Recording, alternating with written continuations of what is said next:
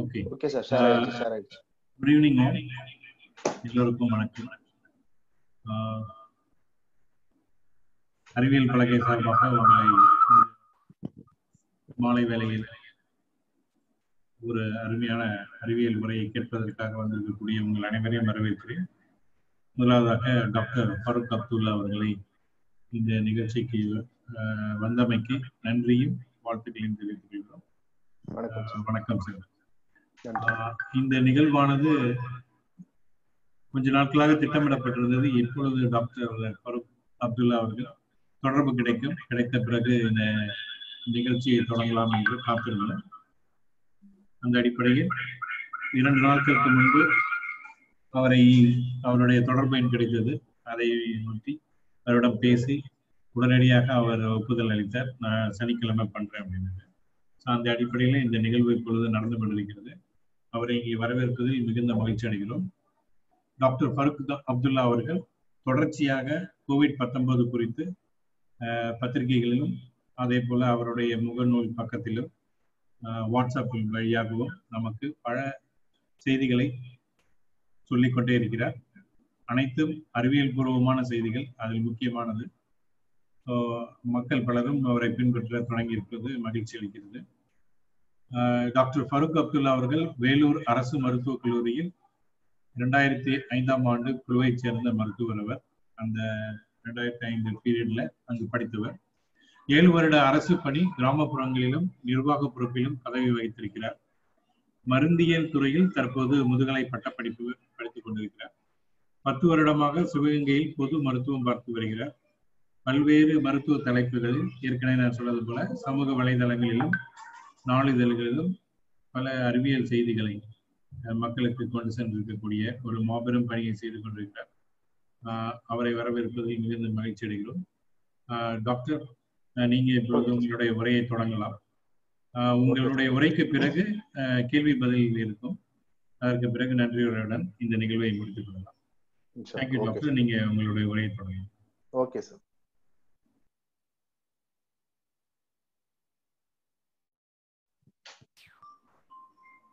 அனைவருக்கும் எனது இனிய மாலை வணக்கம். நான் மருத்துவர் டாக்டர் ஃபருக் அப்துல்லா. சிவகங்கையில் பொதுநல மருத்துவராக பணிபுரிந்து வருகிறேன். என்னை கடந்த சில ஆண்டுகளாக முகநூலில் பின்தொடர்பவர்களுக்கு என்னை பற்றி சிறியது தெரியும். என்னை பற்றிய சிறிய முன்னுரையை திரு ஸ்ரீகுமார் அவர்கள் வழங்கினார். நன்றி சகோதரர். சோ இப்ப வந்து நம்ம இப்ப எங்க எடுத்தாலும் பேச்சு வந்து எங்க ஆரம்பிச்சாலும் முடியறது வந்து கொரோனா நோயில இருந்து தான் முடியும். இந்த கொரோனா நோய் வந்து ஏன் இவ்வளவு பெரிய பிரச்சனையாச்சு? இது வந்து உண்மைதானா? நிறைய பேருக்கு இன்னுமே டவுட் இருக்கு. என்ன என்ன டவுட்னா வந்து இந்த மாதிரி ஒரு நோய் இருக்கா? இல்ல இந்த மாதிரி இருக்குன்னு சொல்லி பொய் சொல்றாங்களா? சும்மா கு- கும்பல் கும்பலா வந்து நம்மள ஹாஸ்பிட்டல்ல போய் அட்மிட் பண்றாங்க. கொண்டு கூட்டிட்டு போறாங்க. வீட்டுல வந்து தூக்கிட்டு போறாங்க. இப்படி எல்லாம் வந்து கருத்துக்களை பார்க்க முடியுது. சோ கொரோனா அப்படிங்கிறது உண்மையாவே ஒரு நோய் தானா நம்ம இப்ப இந்த உரையில என்னென்ன செய்ய பார்க்க போறோம் அப்படின்னா கொரோனா எங்கிருந்து தோன்றுச்சு அப்படிங்கறத ஒரு ஷார்ட்டா பார்த்துட்டு அது என்ன வகையான ஒரு நோய்? அந்த நோய் எப்படி ஒரு மனிதனிடமிருந்து இன்னொரு மனிதனுக்கு பரவுது? அதை எப்படி ஒரு மனுஷன் வந்து தனக்கு வராம தடுத்துக்க முடியும்? சரி வந்துருச்சுன்னா என்ன பண்றது? அப்புறம் இத வந்து முழுசா இந்த உலகத்தை விட்டு இல்லாம பண்றதுக்கு என்ன செய்யணும்? இந்த உலகத்தை விட்டு இது இல்லாம போகாதா? எப்ப போகும்? நம்மளோட நார்மல் லைஃப் எப்ப வந்து திருப்பியும் பழைய மாதிரி கிடைக்கும்? இது எல்லாத்தையும் பத்தி நம்ம வந்து இந்த ஃபர்ஸ்ட் டிஸ்கஷன்ல நான் பேசுறேன். அது எல்லாரும் கேளுங்க. அதுக்கப்புறம் வந்து கேள்வி பதில் நிகழ்ச்சியில அதிலிருந்து வரும் சந்தேகங்களை நீங்கள் எழுப்புங்கள். அறிவியல் பார்வை கொண்டு அந்த சந்தேகங்களுக்கு என்னாலான விடையை நான் தருகிறேன். ஓகே கொலக்கியல் லாங்குவேஜ்ல சாதாரணமா எல்லாருக்கும் புரியுற மாதிரியே நம்ம பேசிடுவோம் இந்த கொரோனாங்கிறது இப்பதான் நமக்கு தெரியுமா? இந்த கொரோனா வைரஸ்ங்கிறத வந்து நம்ம ரெண்டாயிரத்தி பத்தொன்பது டிசம்பர்ல இருந்துதான் நமக்கு தெரியுமா அப்படின்னு கேட்டா கிடையாது. கொரோனா வைரஸ்ங்கிறது பல மனித இனம் தோன்றதுல இருந்து மனுஷனுக்கு அடிக்கடி வர்ற ஒரு வைரஸ் இன்ஃபெக்ஷன் தான். சுமார் ஒரு நமக்கு தெரிஞ்ச ஒரு நாலஞ்சு கொரோனா வைரஸ் வந்து மனிதனை அடிக்கடி தாக்கும். ஆனா என்னன்னா அது எல்லாமே சீசனலா வரும். ஒரு சாதாரண வைரல் இன்ஃபெக்ஷனா இருக்கும். காய்ச்சல் இருமல் சளி மூக்கடப்பு. இப்ப இதுக்கெல்லாம் வந்து நம்ம ஒரு மூணு நாள் பார்ப்போம். மூணு நாள்ல கஷாயம் குடிப்போம். அல்லது வீட்டுல ஒரு பேரஸ்டமால் மாத்திரை போட்டு பார்ப்போம். சரியாகல அப்படின்னா டாக்டர்கிட்ட போவோம். டாக்டர் வந்து மாத்திரை மருந்து கொடுப்பாங்க. ஒரு வாரத்துல அது சரியாயிடும். வைரஸ் இன்ஃபெக்ஷன்ங்கிறதுனால ஒரு வாரம் தான் அதோட கோர்ஸ் இருக்கும். தானாவே சரியா போயிடும். இந்த மாதிரி ஒரு அப்ராணி ஜந்து தான் இந்த கொரோனா வைரஸ் இந்த அப்ராணி ஜந்து கொரோனா வைரஸ் வந்து இப்ப இந்த மில்லினியம் அந்த ரெண்டாயிரம் வருஷம் இருக்கு இல்லையா? அதுக்கு முன்னாடி எல்லாம் வந்து நம்ம கொரோனா வைரஸை பத்தின பெருசுனா ஆராய்ச்சி நம்ம பண்ணல. ஆயிரத்தி தொள்ளாயிரத்தோட ஆரம்பங்கள் வரைக்கும் கூட வைரஸ்னா என்னன்னு கூட நமக்கு தெரியாது. எலக்ட்ரான் மைக்ரோஸ்கோப் நம்ம கண்டுபிடிக்கல. அதனால வந்து அதுக்கு முன்னாடி நேர்ந்த வகைகள் பத்தி நமக்கு வந்து வரலாற்றுல வந்து கரெக்டான எவிடன்ஸ் எல்லாம் கிடையாது. அதுக்கு முன்னாடி நிறைய வந்திருக்கலாம். மேபி அதை பத்தின நமக்கு எவிடன்ஸ் கிடையாது. முழு முதல் ஆயிரத்தி தொள்ளாயிரத்தி பதினெட்டுல தான் வந்து வைரஸ்னால தோன்றின ஒரு முழு முதல் பெருந்தொற்றை வந்து ரெக்கார்ட் பண்ணிருக்கு உலகம். ஆனா அப்ப கூட வந்து நமக்கு வைரஸ்னா என்னன்னு தெரியாது. மனுஷன் வைரஸ பார்க்கல. ஆனாலும் இதே மாதிரி ஒரு சுவாச பாதை வழியா பரவி இருமல் தும்மல் வழியா பரவி நிறைய பேரை கொண்டு ஒழித்ததாக வரலாற்றில் பதிவு செய்யப்பட்டிருக்கிறது. ஒரு சுமார் ஒரு ஐந்து கோடி மக்களை வைந்து வந்து அந்த பெருந்தொற்று ஆயிரத்தி தொள்ளாயிரத்தி பதினெட்டு இன்ஃபுளுயன்சா பெருந்தொற்று பேர் வந்து ஸ்பானிஷ் ஃப்ளூ அப்படின்னு சொல்லுவாங்க. அப்ப வந்து ஒரு இருநூறு கோடி தான் மக்கள் தொகை உலகத்தில் இருந்ததாகவும் அதுல வந்து ஐந்துல இருந்து பத்து கோடி மக்கள் இதனால் இறந்ததாகவும் பதிவு செய்யப்பட்டிருக்கு. ஆனா அப்ப கூட நமக்கு வைரஸ் தான் என்னன்னு தெரியாது. வைரஸ்க்கு எந்த மருந்து கண்டுபிடிக்கல. ஆன்டி வைரல்ஸ் கிடையாது. அப்ப இதே மாதிரிதான். ஹோம் ஐசோலேஷன் வீட்டுல தனிமையா இருக்கிறது நோய் வர்றதுக்கு முன்னாடி இருக்கிறவங்களை குவாரண்டைன் பண்றது. இப்ப எப்படி வெளிநாட்டுல இருந்து வர்றவங்களை வந்து கட்டாயம் ஒரு ஏழு நாள் ஒரு ஹோட்டல்லையும் இன்னொரு ஏழு நாள் வீட்லயும் தனிமைப்படுத்துறோம் இல்லையா? அது மாதிரி தனிமைப்படுத்துறது இதைத்தான் மனிதன் வந்து செஞ்சுட்டு இருந்தாங்க. அதுக்கப்புறம் தான் வைரஸ் சம்பந்தமான ஆராய்ச்சிகள் அதிகமாகுது. அதிகமான உடனே வைரஸை நம்ம கண்ணுல பார்த்துட்டான் மனுஷன். அப்புறம் இதனாலதான் இந்த நோய் வருது. வைராலஜி துறை வந்து பெருசா டெவலப் ஆகுது. அதுக்கப்புறம் ஆயிரத்தி தொள்ளாயிரத்தி ஐம்பத்தி ஏழுல ஒரு இன்ஃபுளுசா பெருந்தொற்று அறுபத்தி எட்டுல ஒரு பெருந்தொற்று அதுக்கெல்லாம் வந்து ஏவியன் ஃப்ளூ ரஷ்யன் ஃப்ளூன்னு அது எங்க உருவாச்சோ அதை வச்சு பேர் வைக்கிற ஒரு நடைமுறை இருந்தது. மிலினியம்க்கு அப்புறம் கொரோனா வைரஸ் அப்படின்ற ஒண்ணு வந்து எப்ப மனுஷனுக்கு தெரிய தெரிஞ்சிச்சு பெரிய பிரச்சனையா வந்துச்சு அப்படின்னா ரெண்டாயிரத்தி ரெண்டு ரெண்டாயிரத்தி மூணுல இதே சீனாலதான். இப்ப வந்து ஹூபை மாகாணம் மாதிரி அது வந்து ஹோங்டாங் மாகாணம் அந்த மாகாணத்துல வந்து உருவாகி சார்ஸ் வைரஸ் அப்படிங்கிற பேர்ல வந்து அதுக்கு பெயரிடப்பட்டது. மனுஷன் தானே பேர் வைக்கிறான். வைரஸ் வந்து பேரோட வர்றதில்ல. சார்ஸ் வைரஸ் அப்படின்னு சொல்லி பேர் வைக்கப்பட்டது. நமக்கு வந்து அந்த அந்த காலகட்டத்துல இளைஞர்களா இருந்தவங்களுக்கோ ஒரு நாற்பது ஐம்பது வயசு இருந்தவங்களுக்கோ நல்லா தெரிஞ்சிருக்கும். ஜஸ்ட் ஒரு நியூஸா தெரிஞ்சிருக்கும். சார்ஸ் அப்படின்னா என்னன்னா சிவியர் அக்யூட் ரெஸ்பிரேட்டரி சிண்ட்ரோம் அப்படின்னு பேரு. அதாவது தீவிரமான அதிதீவிரமான மூச்சு திணறலை உருவாக்கக்கூடிய ஒரு வைரஸ் அப்ப அதுக்கு சார்ஸ் ஒன் வைரஸ் எல்லாம் வைக்கல. அது சார்ஸ் வைரஸ் ஏன்னா அப்ப வந்து இது டூ வரப்போகுதுன்னு அப்ப தெரியாது இல்லையா? அதனால அதுக்கு பேர் சார்ஸ் வைரஸ் அது வந்த உடனே என்ன பண்ணாங்க அப்படின்னா ஒரு வைரஸ் புதுசா உருவாகி வருது அப்படின்னா நீங்க நினைச்ச மாதிரி எடுத்தோம் கவுத்தோம் அப்படின்னு சொல்லிட்டு ஒரு மாத்திரையை எடுத்து அதை சரி பண்ண முடியாது. ஏன்னா வந்து அதுக்கு ஆன்டி வைரல் அப்படிங்கிற ஒண்ணு நம்ம கண்டுபிடிக்கணும். வைரஸ் அப்படிங்கிறது வெளி வெளியில எடுத்து வச்சீங்கன்னா அது ரொம்ப சாது. ஒண்ணுமே செய்யாது. ஆனா அதே அது ஒரு லிவிங் செல் நம்ம உடம்புக்குள்ளார வந்து நம்மளோட சுவாச பாதையில இருக்கிற செல்களுக்குள்ளார போச்சு அப்படின்னா நம்ம சுவாச பாதைகளுக்குள்ளார எப்படி வந்து நீங்க எந்திரன் படம் பார்த்திருந்தீங்கன்னா தெரியும். ஒரு ரோபோ தான் இருக்கும். அதுக்கு எந்த அறிவும் இருக்காது. பட் அதுக்கு ஒரு ரெட் சிப்பை உள்ள மாட்டின உடனே அது வந்து டூ பாயிண்ட் ஜீரோவா மாதிரி ஒரு மிருகம் மாதிரி மாறும் இல்லையா? அது மாதிரி நம்ம செல்களையே தான் ஆட்கொண்டு அந்த வைரஸ் ஆனது தனது மூலப்பொருட்களை வந்து நம்ம செல்களுக்குள்ளார திணிச்சு நீயே எனக்கு வந்து பல்கி பெறுகிறதுக்கான ஆற்றலை வந்து செஞ்சு கொடுக்கணும் அப்படின்னு சொல்லி செல்கள்ல இருந்தே எனர்ஜியை வாங்கி அந்த வைரஸ் வந்து பெருசா பல்கி பெருகும். சோ வைரஸ் வந்து நம்மளோட ஆதி மூதாதையர். நம்ம மனுஷனும் வைரஸும் சந்திச்சுக்கிறது வந்து இந்த ரெண்டாயிரத்தி பத்தொன்பது ஊகான் வைரஸ் இந்த இது மூலமா தான் இல்ல. நம்ம வந்து காலந்தொற்று வைரஸால இன்ஃபெக்ஷன் ஆகிட்டே இருக்கும். நம்ம மனித சமுதாயத்துல சில பேரை இழந்துகிட்டு தான் இருக்கும். ஆனா அறிவியல் பா பூர்வமா அதை நம்ம பார்க்க ஆரம்பிச்சது வந்து கடந்த ஒரு நூற்றாண்டுல தான். அதனாலதான் நமக்கு வைரஸ்னா என்னன்னு தெரியுது. சோ இப்ப ரெண்டாயிரத்தி ரெண்டுல அதை பார்த்தாங்க. பார்த்துட்டு அதை வந்து உடனடியா என்ன பண்ணாங்கன்னா சைனால வந்து ஊரடங்கு உத்தரவுகள் போட்டாங்க. அதுக்கப்புறம் ஹாங்காங் பரவுச்சு. அங்க ஊரடங்கு உத்தரவு போட்டாங்க. சிங்கப்பூர்ல பரவுச்சு. ஏன்னா சைனால வந்து ரெண்டாயிரத்தி ரெண்டுல வந்து அங்க எல்லாம் தான் அதிகமா மக்கள் போயிட்டு இருந்தாங்க அதுக்கு முன்னாடி வரைக்கும் பெருசா வேற வேற இடங்களுக்கு போகல. இவ்வளவு இந்த அளவுக்கு வந்து விமான போக்குவரத்து அப்ப கிடையாது. அதனால வந்து பெருசா பரவாம அது வந்து ஒரு நாலாயிரம் பேருக்கு பரவி ஒரு எழுநூறு பேரை வந்து காவு வாங்கி அதோட அந்த சார்ஸ் வைரஸ் வந்து அமைதி ஆயிடுச்சு அதுக்கப்புறம் அதே கொரோனா வைரஸ் வந்து இன்னொரு ஒரு பத்து வருஷம் கழிச்சு சவுதி அரேபியால ஒட்டகங்கள்ல இருந்து வந்துச்சு. அது வந்து மெர்ஸ் வைரஸ் அப்படின்னு சொன்னாங்க.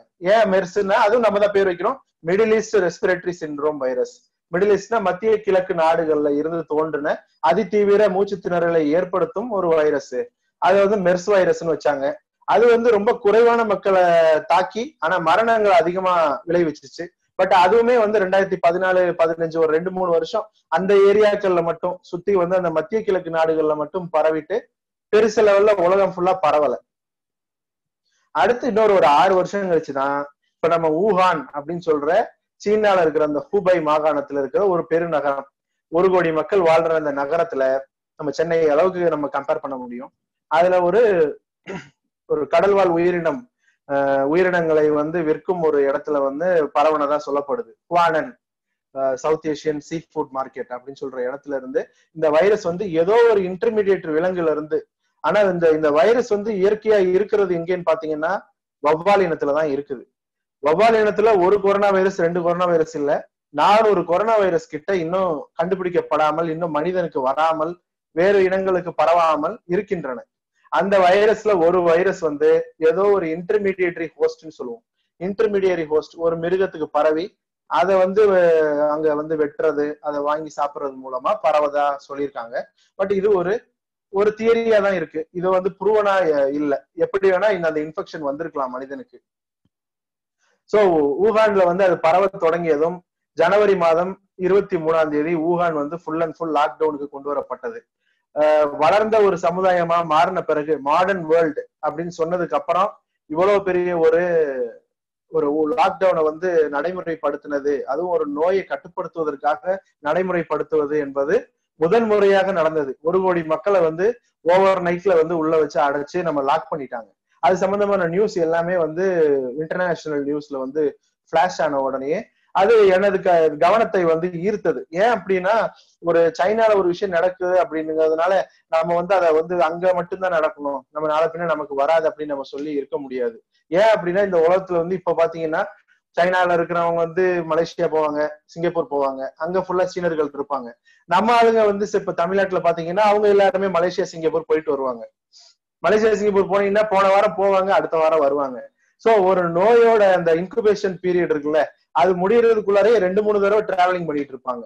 இது எல்லாத்தையும் வந்து நான் எனக்கு வந்து அது ஒரு இதா பட்டுச்சு. ஏன்னா நமக்கு வந்து சைன சீன லிங்க் டைரக்டா இல்லாட்டியும் கூட நமக்கு வந்து இந்த சிங்கப்பூர் மலேசியா கூட லிங்க் இருக்கிறதுனால மேபி இது நமக்கு ஒரு த்ரெட்டா வர்றதுக்கான வாய்ப்பு வந்து ரொம்ப அதிகமா இருக்குங்கிறதுனால நான் வந்து ஜனவரி இருபத்தி மூணுல இருந்து நம்ம வந்து கொரோனாவை வந்து ஃபாலோ பண்ணிக்கிட்டே இருந்தோம்.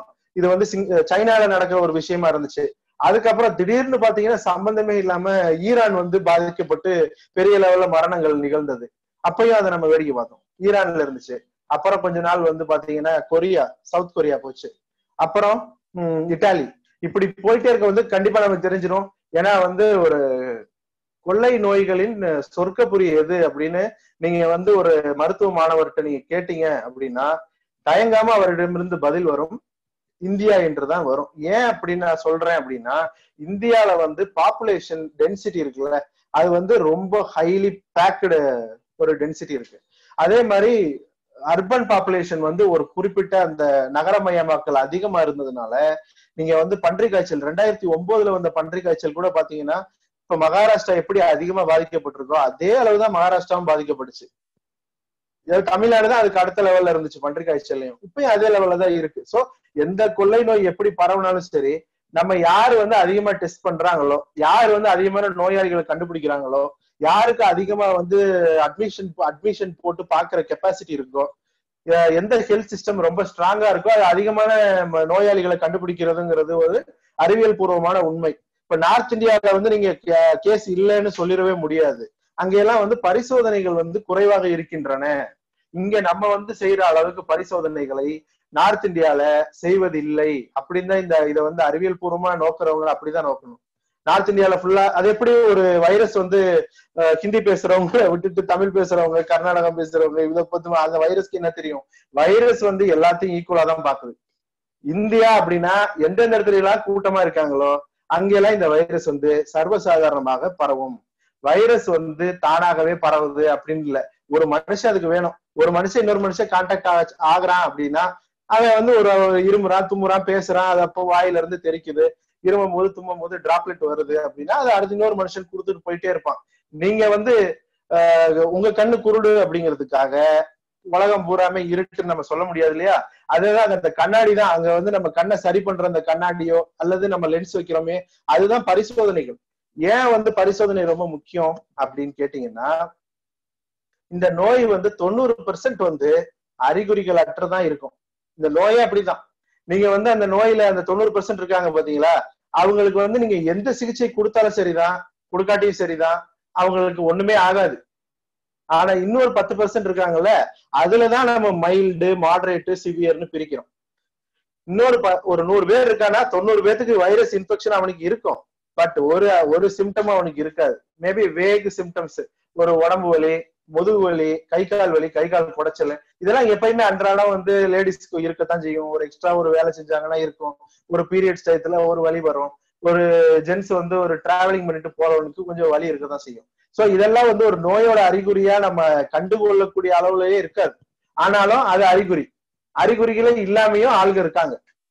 இன்னொரு பத்து பெர்சன்ட் பேருக்கு தான் வந்து அறிகுறிகள் இருக்கும். அதை மைல்டு மாடரேட் சிவியர்னு நம்ம கேட்டகரைஸ் பண்றோம். யாரெல்லாம் மைல்டு எதெல்லாம் வந்து நீங்க வீட்டுல அல்லது ஒரு கிளினிக்ல போய் சரி பண்ண முடியுமோ அது மைல்டு இந்த காய்ச்சல் வரும் உடம்பு வலிக்கும் இருமல் மூக்கடப்பு தொண்டை வலி அப்புறம் வந்து இந்த ஸ்மெல் லாஸ் ஆஃப் ஸ்மெல் அந்த நுகர்தல் தன்மை வந்து குறைபடுறது அல்லது அது சுத்தமா இல்லாம போடுறது. இல்ல வந்து டேஸ்ட் பண்றது சுவைத்தல் தன்மை வந்து குறையிறது அது முற்றிலும் இல்லாம இருக்கிறது. வயிற்றுப்போக்கு இந்த மாதிரி சிம்டம்ஸ் எல்லாமே வந்து நம்மளால ஒரு கிளினிக் ஒரு டாக்டரை போய் பார்த்து சரி பண்ண முடியும் இல்லையா? இது எல்லாமே மைல்டு மாடரேட் அப்படின்னா எதை கொண்டு வருவாங்க அப்படின்னா உங்களுக்கு வந்து அடுத்த லெவலுக்கு நுரையீரலுக்கு இன்ஃபெக்ஷன் போயிடுது. போன பிறகு கொஞ்சம் கொஞ்சமா நுரையீரலை வந்து அது ஆட்கொள்ளும் ஆட்கொள்ள ஆரம்பிக்கும் போது கொஞ்சம் கொஞ்சமா நீங்க வந்து ஆக்சிஜன் குறைபாடு ஏற்படும். நுரையீரலோட வேலை என்னன்னு தெரிஞ்சுக்கிட்டீங்கன்னா நீங்க நுரையீரலை வந்து நீங்க போய் ஒரு நோய் வந்து ஆட்கொள்ளும் போது என்ன பிரச்சனை வருங்கிறத நீங்க ஈஸியா தெரிஞ்சுக்கலாம். நுரையீரல் என்ன செய்யுது? நுரையீரலும் இதயமும் வந்து நெஞ்சாங்கூட்டுக்குள்ள இருக்கு. நுரையீரல் வந்து ரெண்டு நுரையீரல் இருக்கு. நடுவுல வந்து இதயம் இருக்கு. இதயத்தோட வேலை என்ன தெரியுமா? வெறும் பம்ப் பண்றது மட்டும்தான். It is a motor nothing but a motor motor என்ன பண்ணும்? கீழ இருந்து போர்ல இருந்து தண்ணியை பம்ப் பண்ணி மேல அனுப்பும். மேல இருந்து தண்ணியை வந்து தானாவே கிராவிட்டில கீழே வந்துடும் இந்த பம்ப் பண்ற வேலையை தான் வந்து இதயம் பண்ணுது. ஆனா சுத்திகரிக்கிறது ரத்தத்தை சுத்திகரிக்கணும்ல. நம்ம வந்து ஒவ்வொரு செல்களுக்கும் வந்து ரத்தத்தை கொண்டு போகுது. அந்த ஒவ்வொரு செல்லும் அந்த ரத்தத்துல இருக்கிற எல்லா சத்துக்களையும் சரி ஆக்சிஜனையும் யூஸ் பண்ணும். உயிர் வழியையும் யூஸ் பண்ணும். யூஸ் பண்ணிட்டு அந்த அசுத்தமான ரத்தத்தை வந்து திருப்பியும் வந்து இதயத்துக்கு வரும். அந்த இதயத்துல இருந்து நுரையீரலுக்கு தான் நேரா ரத்தம் போகும். நுரையீரல் தான் ஆக்சிஜனை வந்து ஏர்ல இருந்து நம்ம சுவாசிக்கிற அந்த காற்றுல இருந்து ஆக்சிஜனை உள்ள ஏத்தி ரத்தத்துல ஏத்துறது ஆக்சிஜன் ஏற்றம் பண்ற வேலையை பார்க்கறது வந்து நுரையீரல். சோ நம்ம வைரஸ் புதுசா வர்ற எதிரிய வந்து நம்ம தொண்டையில இருந்து உள்ள இறங்கி நேரா வந்து நுரையீரலுக்குள்ளார போயிடுச்சு. போய் அங்க போய் அது பல்கி பெருகுது. நம்ம எதிர்ப்பு சக்தி வந்து ஒரு லெவலுக்கு மேல வைரஸ் லோடு அதிகமா இருக்கிறதுனால தாக்கு பிடிக்க முடியாம கொஞ்சம் கொஞ்சமா வைரஸ வந்து கொஞ்சம் கொஞ்சமா நுரையீரலை வந்து தாக்குது.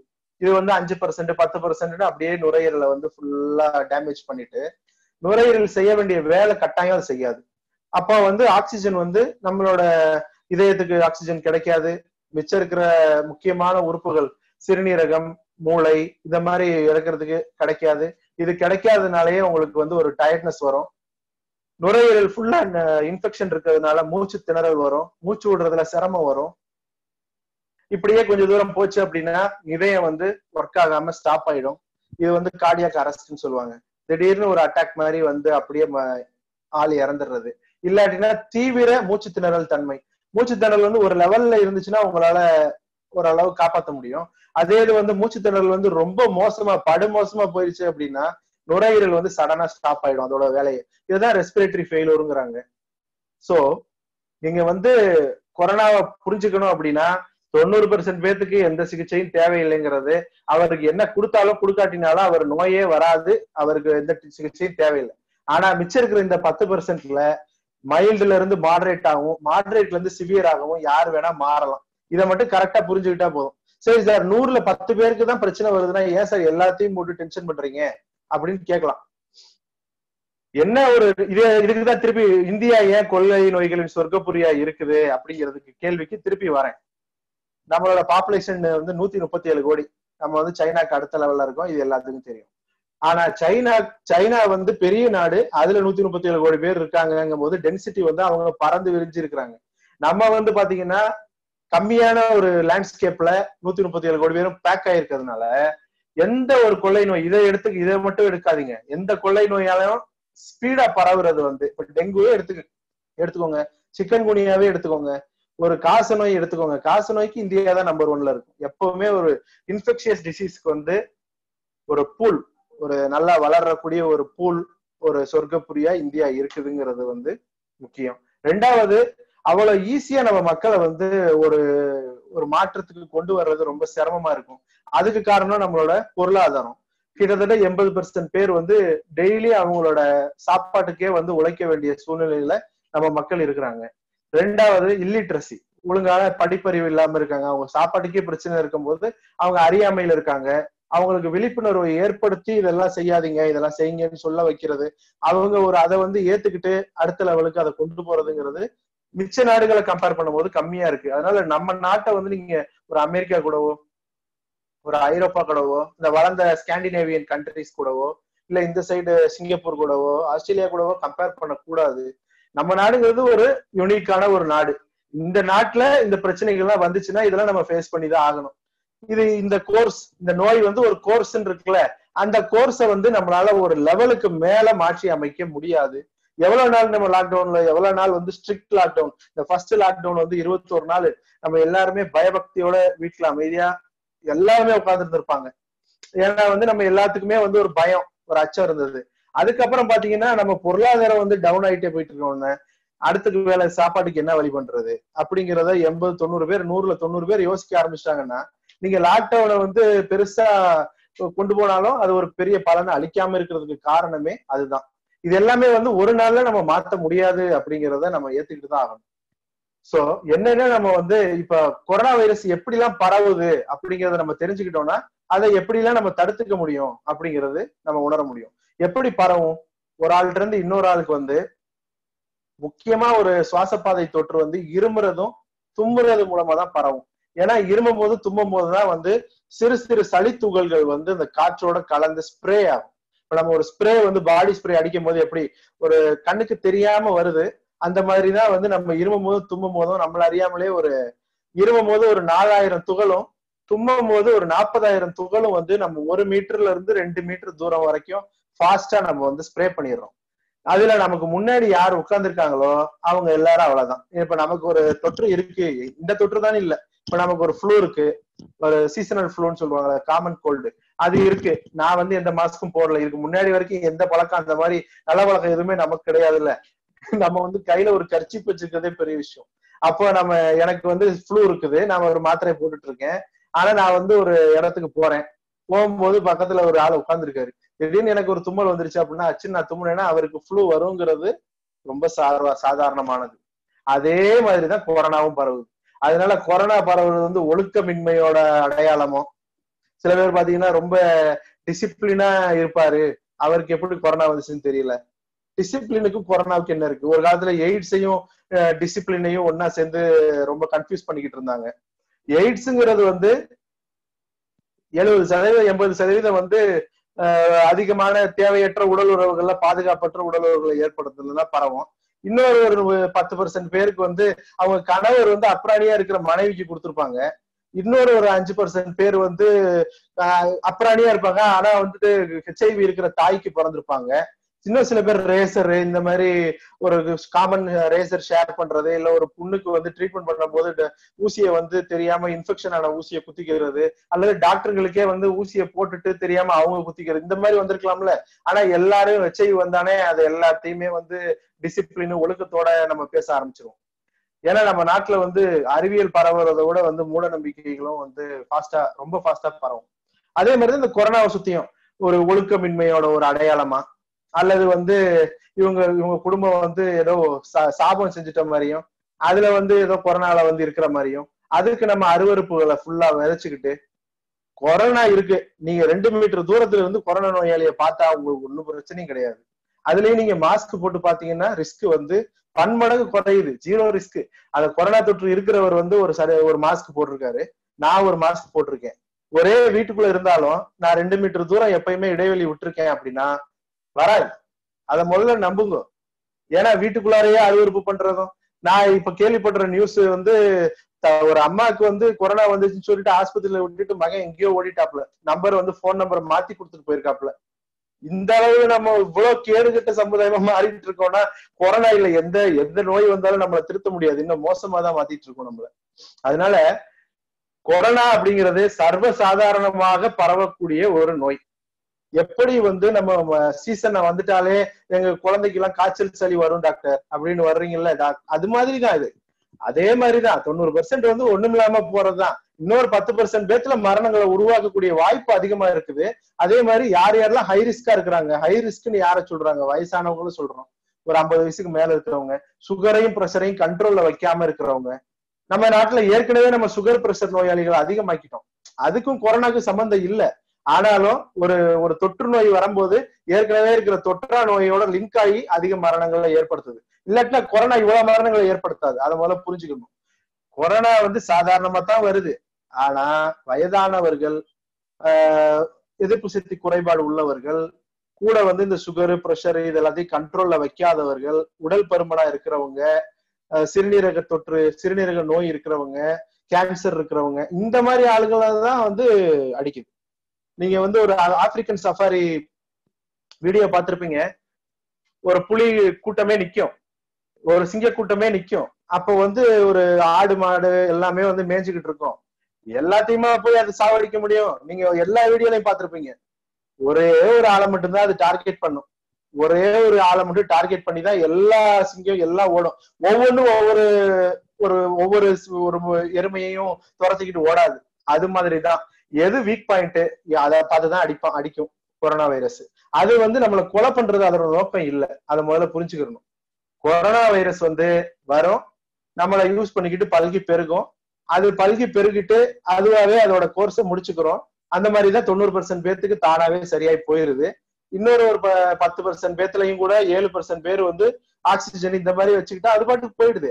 இன்னொரு ஒரு ரெண்டரை பர்சன்ட் பேர் மூன்றரை பர்சன்ட் பேர் தான் வந்து அந்த நோயோட தாக்கம் தாங்க முடியாம தன்னோட எதிர்ப்பு சக்தி குறைபாட்டினாலையும் தான் வயசாக இருக்கிறதுனாலையும் தான் நீரிழிவு ரத்த கொதிப்பு கண்ட்ரோல்ல வைக்காதனாலையும் மரணம் அடைகிறாங்க அதனால ஏறி அது வந்து கடைசியா ஒரு பாயிண்டா வந்து கொரோனா வந்து அங்க வந்து சேர்ந்து கதையை முடிக்கிறதே தவிர கொரோனாங்கிறது தனியா நீங்க எடுத்து பார்த்தீங்கன்னா அது ஒரு அப்ராணி வைரஸ். சோ கொரோனா வைரஸ் தொற்று எனக்கு இப்ப எந்த எங்க ஃபேமிலியில வந்துருச்சு. அப்படின்னா நான் என்ன சார் பண்ணணும்? காமா இருங்க. சந்தோஷமா இருங்க. ஏன்னா தொண்ணூறு பெர்சென்ட் வாய்ப்பு வந்து உங்களுக்கு என்ன ஒண்ணுமே இல்லாம போறதுக்கு தான் ஏன்னா நாங்க வந்து நாங்க டெஸ்ட் பண்ணி தான் உங்களுக்கு கொரோனா வைரஸ் கண்டுபிடிச்சிருக்கோமே தவிர உங்களுக்கு எந்த அறிகுறியும் வரல. சோ அமைதியா வீட்டுல இருங்க.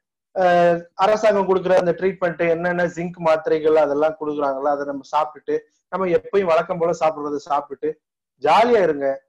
உங்களை அது தொண்ணூறு பெர்சென்ட் வந்து தானாவே விட்டுட்டு ஓடிடும் ஓகே அறிகுறி இருக்கு சார் எனக்கு. காய்ச்சல் இருக்கு இருமல் இருக்கு மூச்சு விடுறதுல லேசான ஒரு சிரமம் ஃபீல் பண்றேன் அப்படின்னு இருக்குன்னு வச்சுக்கோங்க. நீங்க என்ன செய்யணும் அப்படின்னா கட்டாயம் ஒரு போய் ஒரு டாக்டரை போய் பாக்குறீங்க.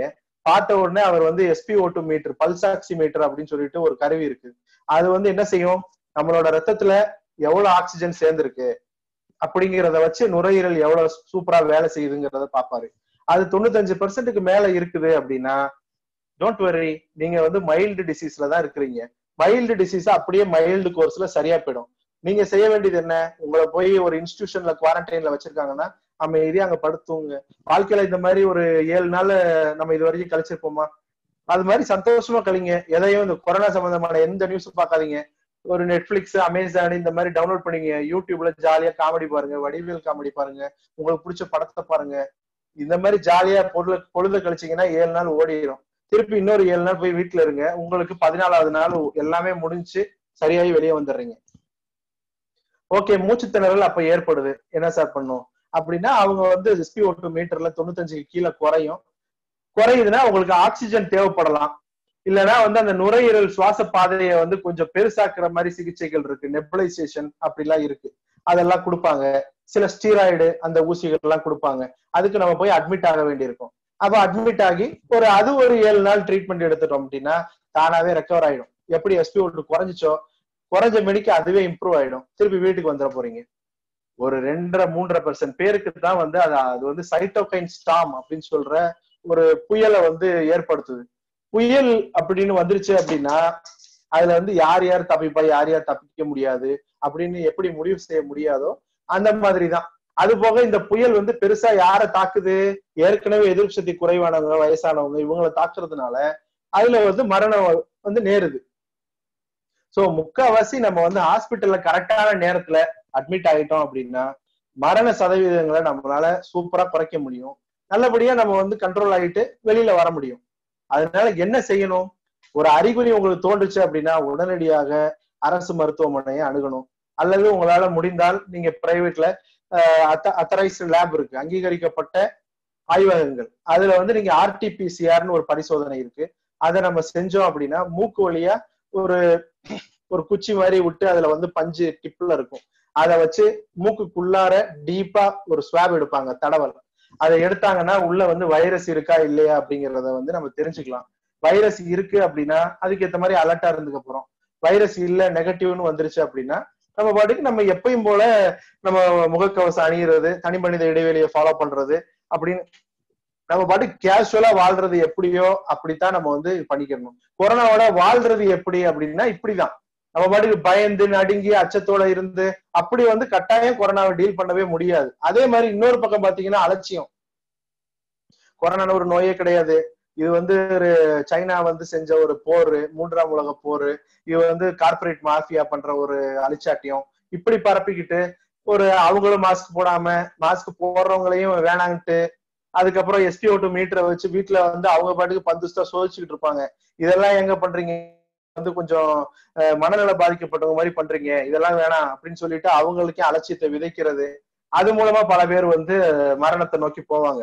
அதனால மரணத்தை நோக்கி போறவங்களை வந்து ஓரளவுக்கு தான் நம்மளால வந்து விழிப்புணர்வை ஏற்படுத்தி இந்த சைடு இழுக்க முடியும்.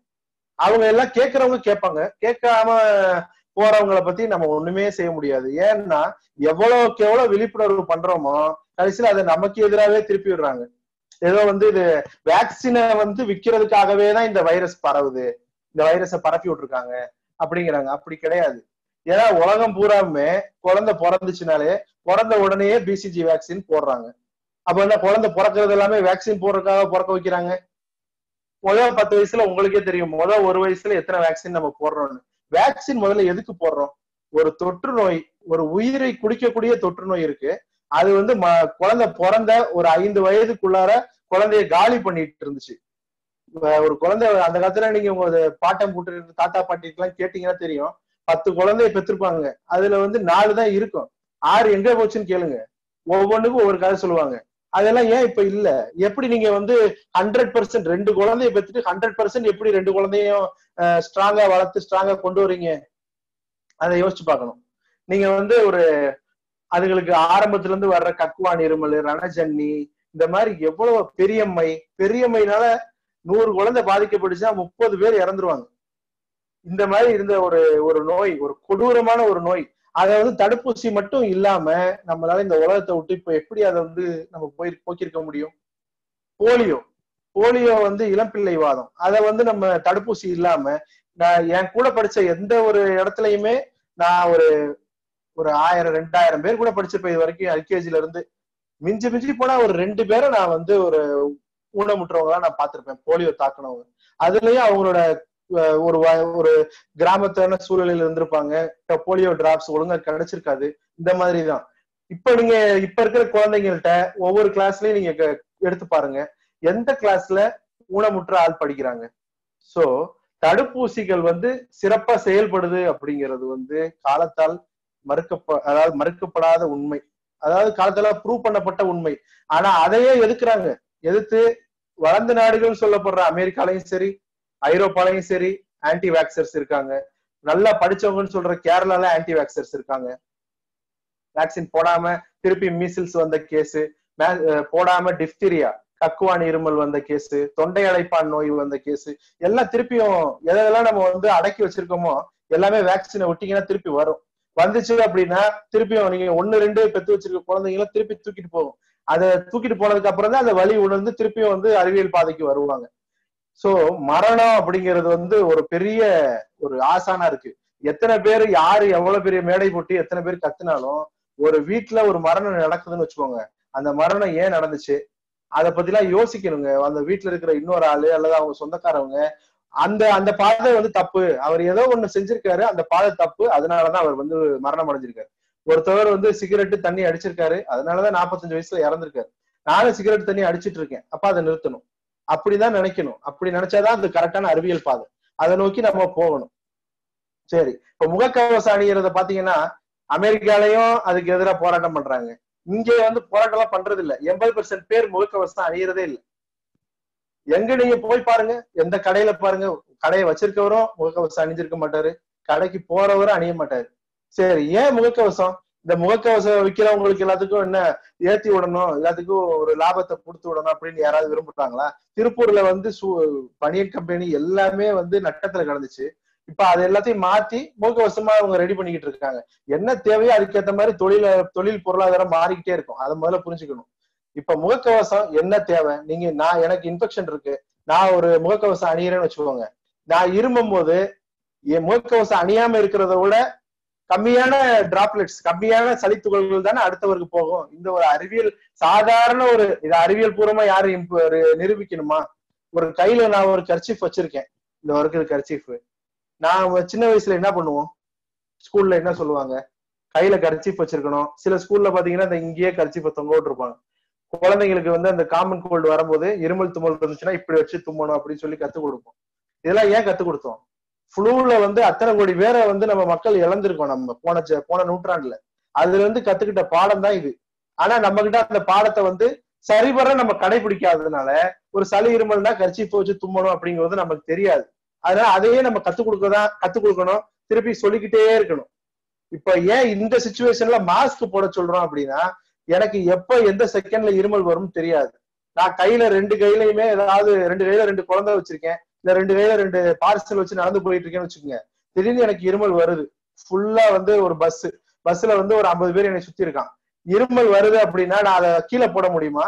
அச்சுன்னு தான் தும்மி விடுவேன். தும்மி விட்டேன் அப்படின்னா என்னை சுத்தி இருக்க ஒரு பத்து பேருக்கு இன்ஃபெக்ஷன் வாங்கிட்டு போயிருவோம்.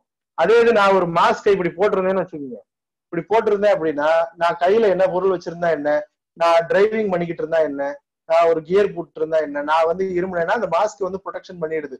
அதுக்காக சொல்லப்பட்டதுதான் இந்த முகக்கவசம்ங்கிறது. இந்த முகக்கவசத்துல துணிக்கவசம் அணிகிறதா இல்ல சர்ஜிக்கல் மாஸ்க் அணிகிறதா என் நைன்டி ஃபைவ் எல்லாரும் போடுறதா அப்படிங்கிற கேள்வி வருது. என் நைன்டி ஃபைவ் எல்லாரும் போடுறது சந்தோஷம். ஓகே என் நைன்டி ஃபைவ் எல்லாரும் போடலாம். உங்களுக்கு வந்து கையில காசு காசு இருக்குது கிடைக்குது அப்படின்னா நீங்க வாங்கி போடலாம். ஆனா ஏன் எல்லாத்துக்கும் அதை பரிந்துரைக்கல அப்படின்னா என் நைன்டி ஃபைவ் ப்ரொடக்ஷன் வந்து கம்மியா இருக்கு. யாருக்கு அது தேவை அப்படின்னா நீங்க வந்து இப்போ ஒரு ஒரு பெரிய ஒரு உலக உலகப்போர் நடக்குதுன்னு கற்பனை பண்ணிக்கோங்க. பெரிய உலகப்போர் நடக்குது. சுத்தி எல்லா நாட்டுல எல்லா நாலு ஆளும் உள்ள வந்துட்டான். எல்லாரும் துப்பாக்கி வச்சிருக்கிறான். அப்ப நீங்க எல்லார் கையிலயும் துப்பாக்கி கொடுக்கணும்னு நினைப்பீங்க தான் அதாவது மக்களும் நீங்க இறங்கி போராடுங்கப்பா அப்படின்னு சொல்லி எல்லார் கையிலயும் துப்பாக்கி கொடுங்கன்னு நினைப்பீங்க. ஆனா நினைச்ச மாட்டுல எல்லாத்துக்கும் துப்பாக்கியை ப்ரொடியூஸ் பண்ண முடியுமா? முடியாது. அப்ப யாரு கையில முதல்ல துப்பாக்கி இருக்கணும்? ஏற்கனவே பிராக்டிஸ் பண்ணவன் மக்களை வந்து காப்பாத்துறதுக்கு எல்லையில நின்று போராடுறவங்க ஆர்மி மேனுக்கு தான் கையில ஃபர்ஸ்ட் துப்பாக்கி இருக்கணும். அதே மாதிரிதான் டாக்டருங்க இப்ப doctor health care professional nurses அப்புறம் அந்த இறந்த சவத்தை வந்து ஹேண்டில் பண்றவங்க இவங்களுக்கு எல்லாம் வந்து இன்ஃபெக்ஷன் அதிகமா வந்துருச்சு அப்படின்னா ஒரு ஃபோர்ஸே வந்து இன்ஃபெக்ஷன்ல படுத்துட்டாங்க அப்படின்னா யாரு வந்து அடுத்தடுத்த நோயாளிகளை வந்து அட்மிட் பண்ணும் போது காப்பாத்துறதுக்கு இருக்கா?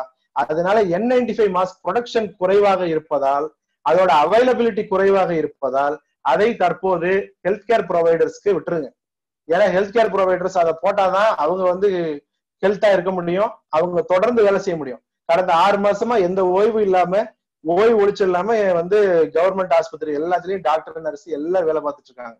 அதுக்கு அடுத்து சர்ஜிக்கல் மாஸ்க் சர்ஜிக்கல் மாஸ்க் ஒரு காலத்துல எதுக்கு யாருக்கு யூஸ் ஆச்சு தெரியுமா? ஆபரேஷன் தியேட்டர்ல டாக்டர் சர்ஜரி பண்ணுவாரு. அவர்கிட்ட இருந்து சுத்தி இன்ஃபெக்ஷன் பரவாம இருக்க ஆபரேஷன் தியேட்டருக்கு வாசல்ல எல்லாருக்கும் ஆளுக்கு ஒரு சர்ஜிக்கல் மாஸ்க் அந்த அசிஸ்ட் பண்ற நர்ஸுக்கு ஓடி டெக்னீஷியனுக்கு எல்லாருக்கும் கொடுப்பாங்க. அவங்க உள்ள போய் ஆபரேஷன் பண்ணுவாங்க. அவங்கள்ட்ட இருந்து இன்ஃபெக்ஷன் அடுத்தவங்களுக்கு போகாம தான் தடுக்குமே தவிர அங்க இருந்து இன்ஃபெக்ஷன் திருப்பி இவங்களுக்கு வராம தடுக்காது. சர்ஜிக்கல் மாஸ்க் வந்து ஒன் வே தான் தடுக்கும். N ninety five mask two way தடுக்கும். அடுத்தவங்கள்ட்ட இருந்து வராது இவங்கள்ட்ட இருந்து இன்ஃபெக்ஷன் போகாது.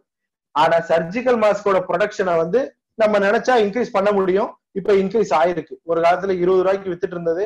இப்ப மூணு ரூபா ரெண்டாயிரம் ரூபாய்க்கு வந்திருக்கு. இன்னும் கூட நம்ம வந்து தொற்று அதிகமாக அதிகமாக இன்னும் ப்ரொடக்ஷன் அதிகப்படுத்த முடியும்.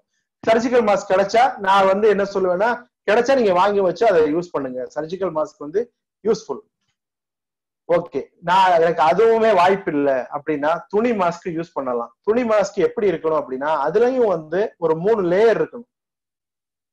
இப்ப இந்த இது ஒரு லேயர் இதை மடிச்சா ரெண்டு லேயர் திருப்பி இதை மடிச்சா மூணு லேயர் இந்த மாதிரி மூணு லேயர் இருந்துச்சு அப்படின்னா நீங்க துணி மாஸ்க்குமே வந்து சர்ஜிக்கல் மாஸ்க் மாதிரி ஓரளவு நல்லபடியா வேலை செய்யும்.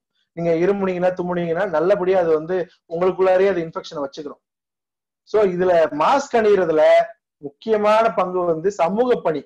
மாஸ்க் அணியறது வந்து நீங்க இன்ஃபெக்ஷன் ஆயிட்டீங்கன்னாலும் உங்ககிட்ட இருந்து இன்ஃபெக்ஷன் அடுத்தவனுக்கு பரப்பாம இருக்கணும் அப்படிங்கிற ஒரு பொதுநல எண்ணத்தோட விளைவு தான் மாஸ்க் அந்த மாஸ்க வந்து எண்பது பெர்சென்ட் தொண்ணூறு பெர்சென்ட் மக்கள் அணிய ஆரம்பிச்சிட்டாங்க அப்படின்னா இந்த தொற்று எப்படி பரவும்? பரவுறதுக்கான வாய்ப்பு குறைஞ்சிரும். அப்ப அது வந்து கொஞ்சம் கொஞ்சமா டிராப் ஆகி இந்த இந்த நோய் பரவுறதையும் சரியாயிடும் மாஸ்க்கு அடுத்ததுதான் இந்த தனி மனித இடைவெளி. ஏன் தனி மனித இடைவெளி ஒரு ஆளுக்கு இன்னொரு ஆளுக்கு ரெண்டு மீட்டர் விட சொல்றாங்க அப்படின்னா நம்ம இருவும் போது தும்பும் போது நம்ம கிட்ட இருக்கிற அந்த சளி துகள்கள் வந்து அதிகபட்சம் ஒரு மீட்டர்ல இருந்து ரெண்டு மீட்டர் தான் தள்ளி போகும். அதனால அந்த டிஸ்டன்ஸை மெயின்டைன் பண்ண சொல்றோம். இதுக்கு என்ன அறிவியல் பூர்வமான ஆய்வு தேவை வேண்டிய கிடக்கு? அதனால இதையும் முக்கியம். இத ரெண்ட சரியா பண்ணாலே நம்மளால கொரோனா வைரஸ் வந்து ஒரு ஊர்ல இல்லாம போறது நம்ம கண்கூட பார்க்கலாம். ஆனா இது ரெண்டையும் தான் நம்ம சரியா பண்றது இல்ல. அதனாலதான் ஒவ்வொரு ஊர்லயுமே வந்து கேஸ் இன்க்ரீஸ் ஆகுது.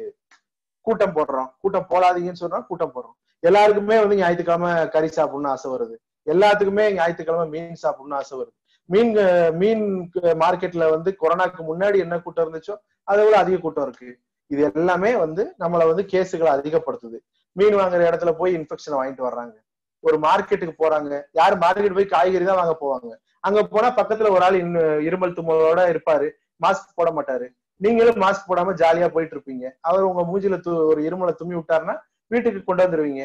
வீட்டுல உங்க கூட ஒய்ஃப் ஒருத்தவங்க அப்புறாணி இருப்பாங்க. அவங்க வீட்டுக்குள்ளேயே இருப்பாங்க. நான் வீட்டுக்குள்ளேயே தான் சார் நாலு மாசம் இருந்தேன். உங்க ஹஸ்பண்ட் வெளியே போயிட்டு வந்தார்ல அவர் வெளியே போகும்போது மாஸ்க் போட்டு போனாரா? வெளியே போகும்போது ரெண்டு மீட்டர் டிஸ்டன்ஸ் மெயின்டைன் பண்ணாரா? பண்ணல அவர் தான் இன்ஃபெக்ஷனை கூட்டி வந்து உங்களுக்கு கூட்டாரு இவங்க வந்து பேரம்பேத்திய தொடுவாங்க. அவங்க பேரம்பேத்திக்கு பரப்புவாங்க. அந்த பேரம்பேத்தி அவங்க அப்பா அம்மாவுக்கு போவாங்க. இப்படித்தான் பரவிட்டு இருக்கு. இத வந்து நம்ம கரெக்டா புரிச்சு புரிஞ்சுக்கிட்டோம். இந்த நோய் பரவுறத புரிஞ்சுக்கிட்டோம்னா நமக்கு எதுவுமே தேவையில்லை. ஆனா நான் ஏற்கனவே சொன்னதுதான். இந்தியால என்னென்ன சவால்கள் இருக்கோ அந்த சவால்கள்னாலதான் நம்ம வந்து இவ்வளவு பிரச்சனைகளை ஃபேஸ் பண்ணிக்கிட்டு இருக்கோம். அது எல்லாத்தையும் ஒரு நாள்ல நம்மளால சரி பண்ண முடியாது. அதனாலதான் எல்லாத்தையும் கூட்டி போய் நம்ம வந்து ஆஸ்பத்திரி அடைக்க வேண்டிய நிலைமையில இருக்கோம். வீட்லயே வந்து ஹோம் குவாரண்டைன் வைக்கலாம்ல சார் எங்க வீட்டுல வந்து டாய்லெட் இருக்குது பாத்ரூம் இருக்கு.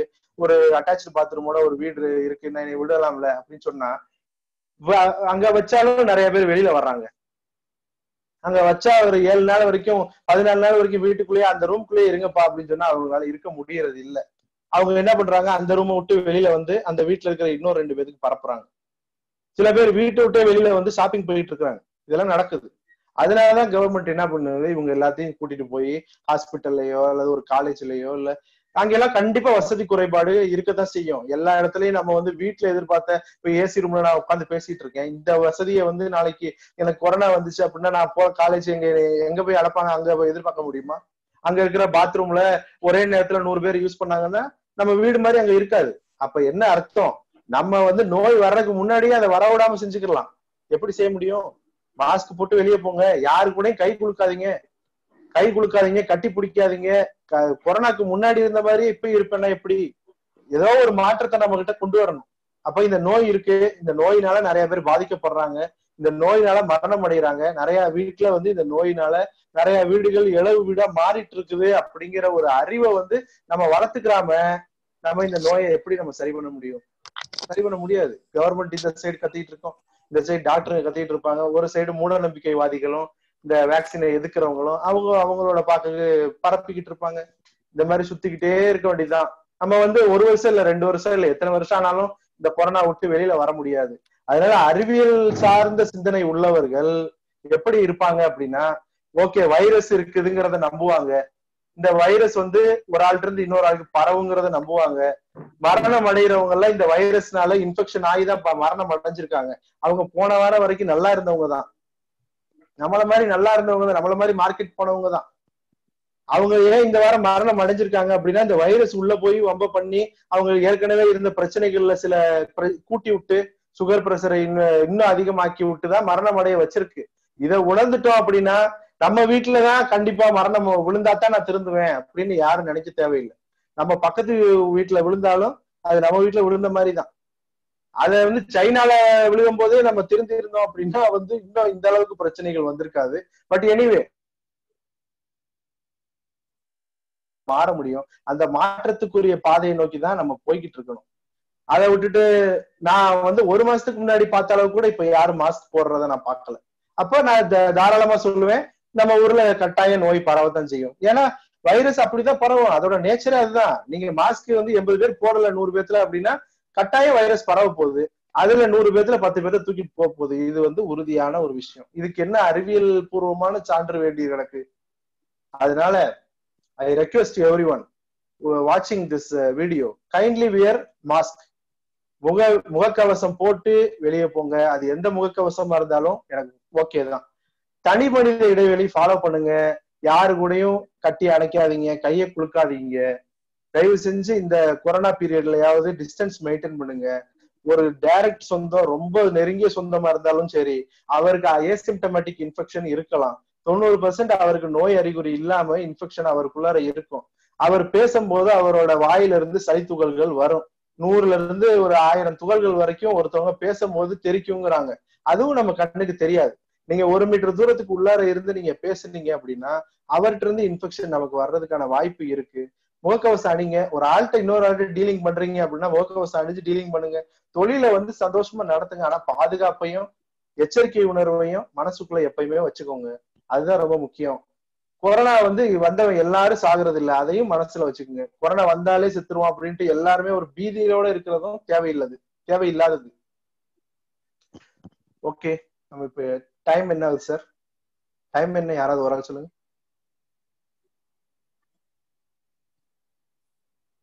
மியூட் பண்ணி அன்மியூட் பண்ணிட்டு சொல்லுங்க சார் மியூட் பண்ணிருக்கீங்க.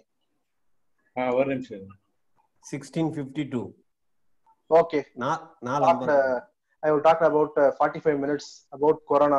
I have touched uh, many points. Okay நீங்க வந்து டவுட்ஸ் கேட்கலாம் இப்போ.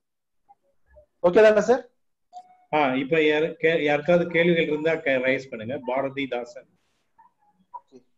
எஸ் பாரதிதாசன் அன்மியூட் பண்ணிட்டு கேளுங்க. Sir good evening sir good evening sir sir good evening good sir evening, ரொம்ப ரொம்ப ரொம்ப அழகான ஒரு லெக்சர் சார் ரொம்ப நன்றி நாளைக்கு. அப்புறம் பயோகெமிஸ்ட்ரியும் மைக்ரோபயாலஜியும் சேர்த்து ஒரு தமிழ்ல ஒரு லெக்சர் கேட்ட மாதிரி இருக்கு சார் தேங்க்யூ சார் நன்றி சார் நன்றி சார் நன்றி சார் சார் இப்போ வவ்வால்ல மட்டும்தான் கொரோனா வைரஸ் இருக்கணுமா சார் மத்த வைரஸ் மத்த அனிமல்ல ஏன் சார் இருக்கக்கூடாது? அதாவது கிளியோ அதுவும் ஒரு பறவை தானே சார் மத்த பறவையில ஏன் சார் இருக்கக்கூடாது? அதாவது சார் ஒரு இடத்துல இருந்து இன்னொரு இடத்துல இருந்து இம்யூன் எஸ்கேப் ஆகும் சார் ஒரு ஸ்பீசிஸ்ல இருந்து இன்னொரு ஸ்பீசிஸ்க்கு வைரஸ் வந்து. அந்த இம்யூன் எஸ்கேப் வந்து நடக்கணும் அப்படின்னா வந்து நீங்க வந்து அந்த அந்த ஸ்பீசிஸ் கூட ஒரு கான்டாக்ட் வந்து எஸ்டாப்ளிஷ் பண்ணிக்கிட்டே இருக்கணும். இப்ப சைனால பாத்தீங்கன்னா இருக்கிறதுலயே அதிகமான அளவு வவ்வால்கள் அங்கதான் இருக்கு. உலகத்திலேயே அதிகமான வவ்வால்களோட இருப்பிடம் வந்து சைனா. அந்த சைனால வந்து நீங்க வவ்வால்கள் கூட மனுஷன் வந்து கான்டாக்ட்ல இருக்கிறது. அது உணவா உண்ணணும்னு அவசியம் இல்லை. அதோட அந்த ஃபீசிஸ் சொல்றாங்கல்ல. அதுல அது உள்ள கான்டாக்ட்ல இருக்கிறது. அது நம்ம உணவுல படுறது. அது மூலமா வந்து அந்த உள்ள இருக்கிற வைரஸ் வந்து மனுஷனுக்கு வருது வர்றதுக்கான வாய்ப்புகள் அதிகமா இருக்குன்னு சொல்லிட்டு சைனா வந்து எப்பயுமே வவ்வால்களோட கொரோனா வைரஸை பத்தி ஆராய்ச்சி பண்ணிக்கிட்டே தான் இருக்கிறாங்க. ஏன்னா அவங்க சார்ஸ்ல இருந்து அடி வாங்கினதுல இருந்து அந்த ரெண்டாயிரத்தி ரெண்டு ரெண்டாயிரத்தி மூணுல அடி வாங்கினதுல இருந்து ஆராய்ச்சிகள் நடந்துட்டு இருக்கு அதுல நானூறு வகையான கொரோனா வைரஸ் வந்து வவ்வால் இனத்துல இருக்கிறதாகவும் அது மனிதனிடத்துல தவறதுக்கான வாய்ப்பு வந்து ஃபியூச்சர் இருக்கிறதாகவும் ஆய்வுகள் இருக்குது. ஆனா வந்து இது எல்லா இடத்துக்கும் பரவுமான்னு கேட்டா எல்லா ஸ்பீசிஸ்க்கும் பரவலாம் சார் ஆனா வந்து எஃபெக்டிவா வந்து ஒரு வீரியமுள்ள ஒரு வைரஸா மாறி வருது இல்ல அது வந்து இந்த வவ்வால்களுக்கு அந்த கெப்பாசிட்டி இருக்குது. அதே மாதிரி ஃப்ளூல பாத்தீங்கன்னா இந்த பன்றிகளுக்கு வந்து அந்த கெப்பாசிட்டி இருக்குது. ஃப்ளூல பாத்தீங்கன்னா ஏவியன் ஃப்ளூ அப்புறம் ஸ்வைன் ஃப்ளூ ஹியூமன் ஃப்ளூ மூணு வகையில மூணு இனங்கள்ல வந்து இந்த ஃப்ளூ வைரஸ் மாறி மாறி சுத்திக்கிட்டு இருக்கும். அதுல வந்து பாத்தீங்கன்னா இந்த பன்றிகள்ல தான் வந்து பன்றிகளை வந்து பறவையோட ஃப்ளூவும் தாக்கும் ஹியூமனோட ஃப்ளூவும் தாக்குது. அங்க போய் இது மூணு ஒன்னா சேர்ந்து ஒரு மிக்ஸ் ஆயிருது அதான் அசாட்மெண்ட் அப்படின்னு சொல்றாங்க. அது திருப்பி ஒரு புது வைரஸா உருவாகி வருது. அதைத்தான் நம்ம வந்து பெருந்தொற்றா நம்ம கணக்குல கொள்றோம். அதனால ஒரு வைரஸ் வந்து எந்த இனங்களுக்கு வேணா தாவலாம். ஆனா எங்க வந்து வீரியமான அது வருது அப்படின்னு பாத்தீங்கன்னா இதுக்கு முன்னாடியும் வந்து வவ்வால்கள் இருந்தா வந்திருக்கு. இந்த இந்த நூற்றாண்டோட ஆரம்பத்துல வவ்வால்கள் இருந்தா சார்ஸ் வந்திருக்கு. இதுவும் வவ்வால் இருந்தா வந்திருக்கு. அதனால நம்ம அதை கணக்குல சொல்றோம். சார் இன்னொரு டவுட் சார். சொல்லுங்க சார். சார் ஒரு ட்ரக் வந்து நடைமுறைக்கு வரணும் அப்படின்னா ரெண்டு வருஷம் ஆகல சார். வேக்சினா இருந்தாலும் சரி ட்ரக்கா இருந்தாலும். இப்போ கொரோனா வைரஸ் வந்து ஒன் இயர் தானே சார் ஆச்சு. இப்போ பாரத் பயோடெக் சொல்றாங்க. நாங்க வந்து செப்டம்பருக்குள்ள வந்து எல்லாத்துக்கும் வேக்சின்ஸ் கொடுத்துறோம் அப்படின்னு சொல்றாங்க சார். இந்த நான் எங்களுக்கு எங்க சார் சொல்லி கொடுத்தது வந்து கிளினிக்கல் ஸ்டேஜும் தாண்டி வரணும். நான் ஃபர்ஸ்ட் நான் கிளினிக்கல் அப்புறம் கிளினிக்கல் ஸ்டேஜ் போகும்பா இதெல்லாம் தாண்டி வர்றதுக்கு டூ இயர்ஸ் ஆகும்னு சொன்னார் சார் எங்களுக்கு. ஆனா ஒரு சிறப்பான கேள்வி கேட்டிருக்காரு. என்னன்னா வந்து ஒரு ஒரு பொதுவா ஒரு ட்ரக் உருவாகுது அப்படின்னு வச்சுக்கோமே. நீங்க வந்து ஒரு ஹைப்பர் டென்ஷன் ஒரு ரத்த கொதிப்புக்கு ஒரு ஒரு ட்ரக்கை ஒரு மாலிக்யூல்ல ஒருத்தவர் கண்டுபிடிச்சிருக்காருன்னு வைங்க. அவர் வந்து அதை போய் முதல்ல பேட்டன் பண்ணுவார். பேட்டன்னா இந்த மா- இந்த மாலிக்யூல் நான் கண்டுபிடிச்சிருக்கேன் அப்படின்னு உரிமை கொண்டாடுவார். உரிமை கொண்டாடிட்டு அதை பதிவு பண்ணுவார். பதிவு பண்ண உடனே அதை வந்து ஒரு ட்ரக் ஃபார்மிங் கம்பெனி அதை வந்து மனுஃபேக்சர் பண்ணும் ஏன்னா அவர் மாலிக்யூலா தான் வச்சிருக்காரு. அதை ஒரு ட்ரக்கா கொண்டு வந்து அதை வந்து ஒரு மாத்திரையா கொடுத்து அதை ஒரு பெருசா வேலை செய்ய வைக்கணும் அப்படின்னா அதை ஒரு ட்ரக் கம்பெனி அந்த பேட்டன்ட்டை வந்து அவர்கிட்ட இருந்து வாங்குவாங்க. வாங்கிட்டு அந்த மால்கியூலை எடுத்து ஆய்வகங்கள்ல பரிசோதனை பண்ணுவாங்க. ஆய்வகங்கள்ல பரிசோதனை பண்ணி ஓகே அப்படின்னு சொல்லிட்டு அதுல இருந்து ஓகேவாகும் அதுக்கப்புறம் அனிமல் ஸ்டடி அனிமல் ஸ்டடினா வந்து ஒரு சிறு குறு பெரிய விலங்குகளுக்கு கொடுப்பாங்க. எலி குரங்கு இந்த மாதிரி நாய் இந்த மாதிரி விலங்குகளுக்கு கொடுத்து சோதனை பண்ணுவாங்க. அதுலயே வந்து இந்த மருந்தை கொடுத்த உடனே மரணம் நேரல. இந்த மருந்தை கொடுத்த உடனே ஒரு பெரிய அட்வர்ஸ் எஃபெக்ட் ஒரு பெரிய விரும்பத்தகாத நிகழ்வுகள் நிகழல அப்படின்னு தெரிஞ்ச உடனே அடுத்த செட்டுக்கு பாஸ் ஆகும். ஒரு முப்பது பேரை செலக்ட் பண்ணிட்டு அவர் ஆரோக்கியமான ஆள் தான் அவர் ப்ரெஷர் இருக்காது. ஆரோக்கியமான ஆளுக்கு ரொம்ப கம்மியான அளவுல இந்த மருந்தை வந்து மனுஷனுக்கு முதல் தடவையா கொடுப்பாங்க. கொடுத்ததுக்கு அப்புறமும் அவருக்கு வந்து மனுஷன்லயும் எந்த ஒரு மரணத்தையும் ஏற்படுத்தல ஒரு அட்வர்ஸ் எஃபெக்ட்ஸ் வரல அப்படின்னா ஒரு முந்நூறு பேர் நோய் உள்ளவங்க ப்ரெஷர் இருக்கிறவங்கள தேர்ந்தெடுப்பாங்க. தேர்ந்தெடுத்து அவங்களுக்கு அந்த மருந்தை கொடுப்பாங்க. கொடுத்துட்டு இன்னொரு ஒரு முந்நூறு பேரை தேர்ந்தெடுப்பாங்க. அவங்களுக்கு அந்த மருந்தை கொடுக்க மாட்டாங்க. இது ரெண்டையும் ஒரு ஆறு மாச காலம் ஒரு வருஷ காலம் வந்து ஃபாலோ பண்ணுவாங்க. இந்த இந்த விங்ல இந்த கொடுக்கப்பட்ட விங்ல ப்ரெஷர் எவ்வளவு குறைஞ்சிருக்கு? கொடுக்கப்படாத விங்ல ப்ரெஷர் எப்படி குறைஞ்சிருக்குன்னு பார்ப்பாங்க. ரெண்டுலயும் இது வந்து நல்லா தேர்ச்சு அப்படின்னா இல்ல இதுல வந்து அதிகமான அட்வர்ஸ் எஃபெக்ட் வரல அப்படின்னா பேஸ் த்ரீக்கு போகும். அப்ப ஒரு மூவாயிரத்துல இருந்து ஐயாயிரம் பேருக்கு அந்த மருந்தை கொடுத்து சோதிப்பாங்க. அதுலயும் அது ஒரு வருஷம் ரெண்டு வருஷம் அந்த ட்ரையல் போகும். அதையும் தாண்டி வர்றதுதான் வந்து நம்ம கையில மருந்தா வருது. சோ ஒரு ஒரு ஒரு ஒரு மருந்து வந்து அமெரிக்கால உருவாகி மாலிக்யூலா இருந்து மருந்தா வந்து மார்க்கெட் அடையிறதுக்கு பத்து வருஷம் ஆகும் சார் அஞ்சுல இருந்து பத்து வருஷம் ஆகும். ஓகே சார் இது வந்து பொதுவான நடைமுறை. ஆனா ஒரு பெருந்தொற்று காலத்துல இப்ப மரணங்கள் இப்ப இன்னைக்குதான் நடந்துகிட்டு இருக்குது. நான் நான் வந்து ஒரு வருஷம் கழிச்சு இதுக்கு மருந்து கொண்டு வருவேன் அப்படின்னு சொன்னா இப்ப இருக்கிற நோயை வந்து உடனடியா தானே கட்டுப்படுத்தணும். பெருந்தொற்று வந்து ஃபாஸ்டா பரவிட்டு இருக்கு. அப்ப என்ன செய்வாங்க அப்படின்னா இந்த கால அளவுகள் எல்லாம் வந்து சுருக்குவாங்க. ஒரு அனிமல் ஸ்டடி வந்து பாஸ் பண்ணிட்டு வருது அப்படின்னா உடனடியா ஃபேஸ் ஒன்னு ஆரம்பிச்சிருவாங்க. ஃபேஸ் ஒன்னா ஒரு முப்பது பேருக்கு கொடுத்து ஒரு ஒரு வாரம் ஒரு வாரம் ரெண்டு வாரம் பார்ப்பாங்க. ஒன்னும் பிரச்சனை வரல அப்படின்னா ஓகே அடுத்து ஃபேஸ் டூ கிளியர் பண்ணுவாங்க. இப்படி ஒரு ஆறு மாதத்துல இருந்து ஒரு வருட காலத்துக்குள்ளார ஒரு ஒரு ஒரு மருந்தை வந்து கொண்டு வர்றதுக்கு முயற்சி பண்ணுவாங்க. அப்படியா இருந்தாலும் ஒரு லெவலுக்கு மேல சுருக்க முடியாது. ஏன்னா அதுக்கு மேல சுருக்கணும் அப்படின்னா எத்திக்ஸ் படி தவறாயிடும். ஏன் தவறாகும்? நீங்க வந்து இந்த அட்வர்ஸ் எஃபெக்ட் அது அந்த மருந்துனால ஏற்படக்கூடிய பக்க விளைவுகள் அந்த வேக்சின்னால ஏற்படக்கூடிய பக்க விளைவுகள் உண்மையான எஃபிகசி இது எல்லாத்தையும் ஒழுங்கா நீங்க டெஸ்ட் பண்ணாம போட்டுவிட்டோம் அப்படின்னா அதனால நிறைய பிரச்சனைகள் வரலாம் இல்லையா? அதனால வந்து ஒரு குறிப்பிட்ட கால அளவை வந்து நம்மளால மாத்த முடியாது. ஆனா சுருக்க முடியும். ஒரு லெவலுக்கு சுருக்க முடியும். இப்ப ஆக்ஸ்போர்டு யூனிவர்சிட்டி வந்து யூகேல ஒரு வேக்சின் கண்டுபிடிச்சிருக்காங்க. அது ஃபேஸ் த்ரீ ட்ரையல் வந்து இப்ப முடிக்க போகுதுங்கிறாங்க. அவங்க வந்து ஜனவரியில இருந்தே அதுக்கான வேலைகளை ஆரம்பிச்சிட்டாங்க. அப்ப கிட்டத்தட்ட பாத்தீங்கன்னா ஒரு ஏழு மாசத்துல அதோட வேலைகளை ஃபாஸ்ட் பண்ணி கொண்டு வந்திருக்காங்க பட் அதையும் கொடுப்பாங்க. கொடுத்த பிறகுதான் அது ஒரு உண்மையான எஃபெக்ட் நமக்கு தெரிய வரும். ஏன்னா நோய் வந்து ஃபாஸ்டா எல்லாருக்கும் பரவும் போது மரணங்கள் அதிகமா நிகழும் போது நம்ம வந்து ட்ரையல் வந்து அஞ்சு வருஷம் பத்து வருஷம் நடத்துவேன் அப்படின்னு நம்ம சொல்ல முடியாது. எனிவே நீங்க பாரத் வந்து பத்தி கேட்டீங்க. பாரத் பயோடெக் வந்து திருப்பி ஐசிஎம்ஆர் வந்து அதை அதை சொன்னதை வந்து திருப்பி பின்ன பின் வாங்கிட்டாங்க ஆகஸ்ட் ரெண்டாயிரத்தி இரு இருபதுக்குள்ளார வந்து கட்டாயம் இதுக்கான வாய்ப்பு இல்லை. இருந்தாலும் துரிதப்படுத்துவதற்காக துரிதப்படுத்துவதற்காக இந்த இது வந்து தொய்வா வந்து இந்த ஆய்வுகளை நடத்திடக்கூடாது. துரிதப்படுத்துவதற்காக நாங்க வந்து கொஞ்சம் ஃபாஸ்டா நடக்கணுங்கிறதுக்காக பெஞ்ச் விட்டு பெஞ்ச் ஃபாஸ்டா மூவ் ஆகணுங்கிறதுக்காக இந்த அறிக்கையை அனுப்புனதா அதோட இயக்குனர் நிர்வாக இயக்குனர் தெரிவிச்சிருக்காரு. அதனால ரெண்டாயிரத்தி இருபது ஆகஸ்ட் பதினஞ்சு கட்டாயம் வந்து வேக்சின் உருவாகி வராது. ஃபேஸ் ஒன் ட்ரையல் மட்டும்தான் இப்பதான் ஆரம்பிச்சிருக்கு. பாரத் பயோ பயோடெக் வேக்சினுக்கு கோவேக்சினுக்கு. அதுக்கு அடுத்து ஃபேஸ் டூ நான் சொன்னேன் முந்நூறு பேருக்கு போடுறது அப்புறம் மூவாயிரம் பேருக்கு போடுறது இது எல்லாமே ஒரு ஆறு மாச காலம் டைம் எடுக்கும். ரெண்டாயிரத்தி இருபத்தி ஒன்னோட ஆரம்ப கட்ட மாதங்கள்ல நமக்கு இந்தியாவோட இண்டிஜினஸ் வேக்சின் கிடைக்கும். இண்டிஜினஸ் வேக்சினோட இது என்னன்னா சீப்பா இருக்கும். நம்ம வெளியில இருந்து எக்ஸ்போர்ட் இம்போர்ட் பண்ண தேவையில்லை. சீப்பா இருந்துச்சுன்னா நம்ம ஈஸியா மக்களுக்கு கிடைக்கும். நிறைய மக்கள் போட்டாதான் அதுல பிரயோஜனம் அதிகமாகும்.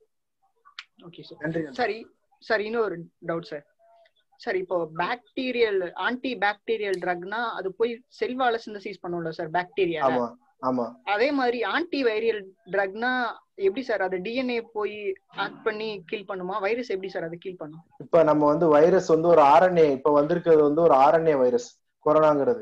இந்த ஆர்என்ஏ வந்து நம்ம டிஎன்ஏ கூட ஃபியூஸ் ஆகிட்டு தான் திருப்பியும் வந்து பல்கி பெருகுது. அப்போ வந்து அந்த பல் அந்த ஃபியூஸ் ஆகி பல்கி பெருகிற அந்த ப்ராசஸை டச் பண்றது. அல்லது அந்த வைரஸ் வந்து நம்மளோட சுவாச பாதையில வந்து ஒட்டுரும். ஏசிஇ டூ இன்ஹிபிட்டர்ல தான் வந்து ஒட்டுது.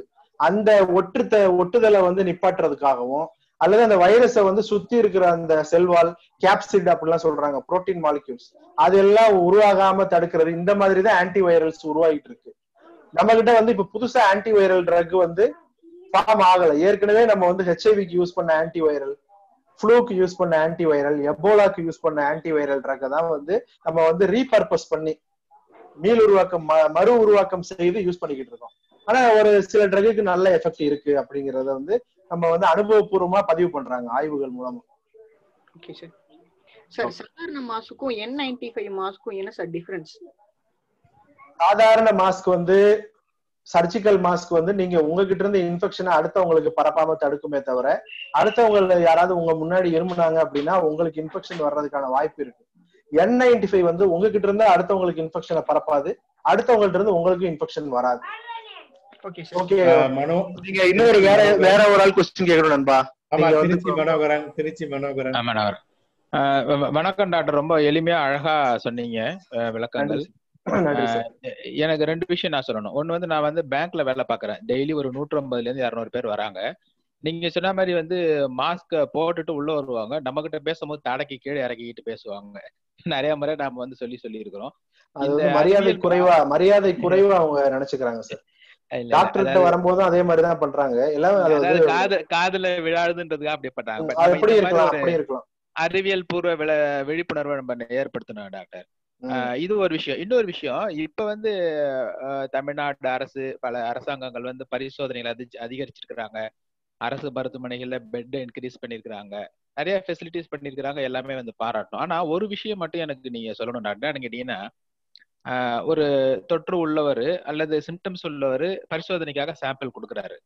ஆனா அதனுடைய ரிப்போர்ட் என்பது வர்றதுக்கு ஃபைவ் டேஸ் ஆகுது டாக்டர். டேர்ன் அரவுண்ட் டைம் வந்து ரொம்ப ஹையஸ்ட் இப்ப அந்த நபருக்கு பாசிட்டிவ்னு வந்தா கடந்த. நான்கு நாட்கள்ல எவ்வளவு பேருக்கு அவர் வந்து தொற்றை பரப்பியிருப்பாரு.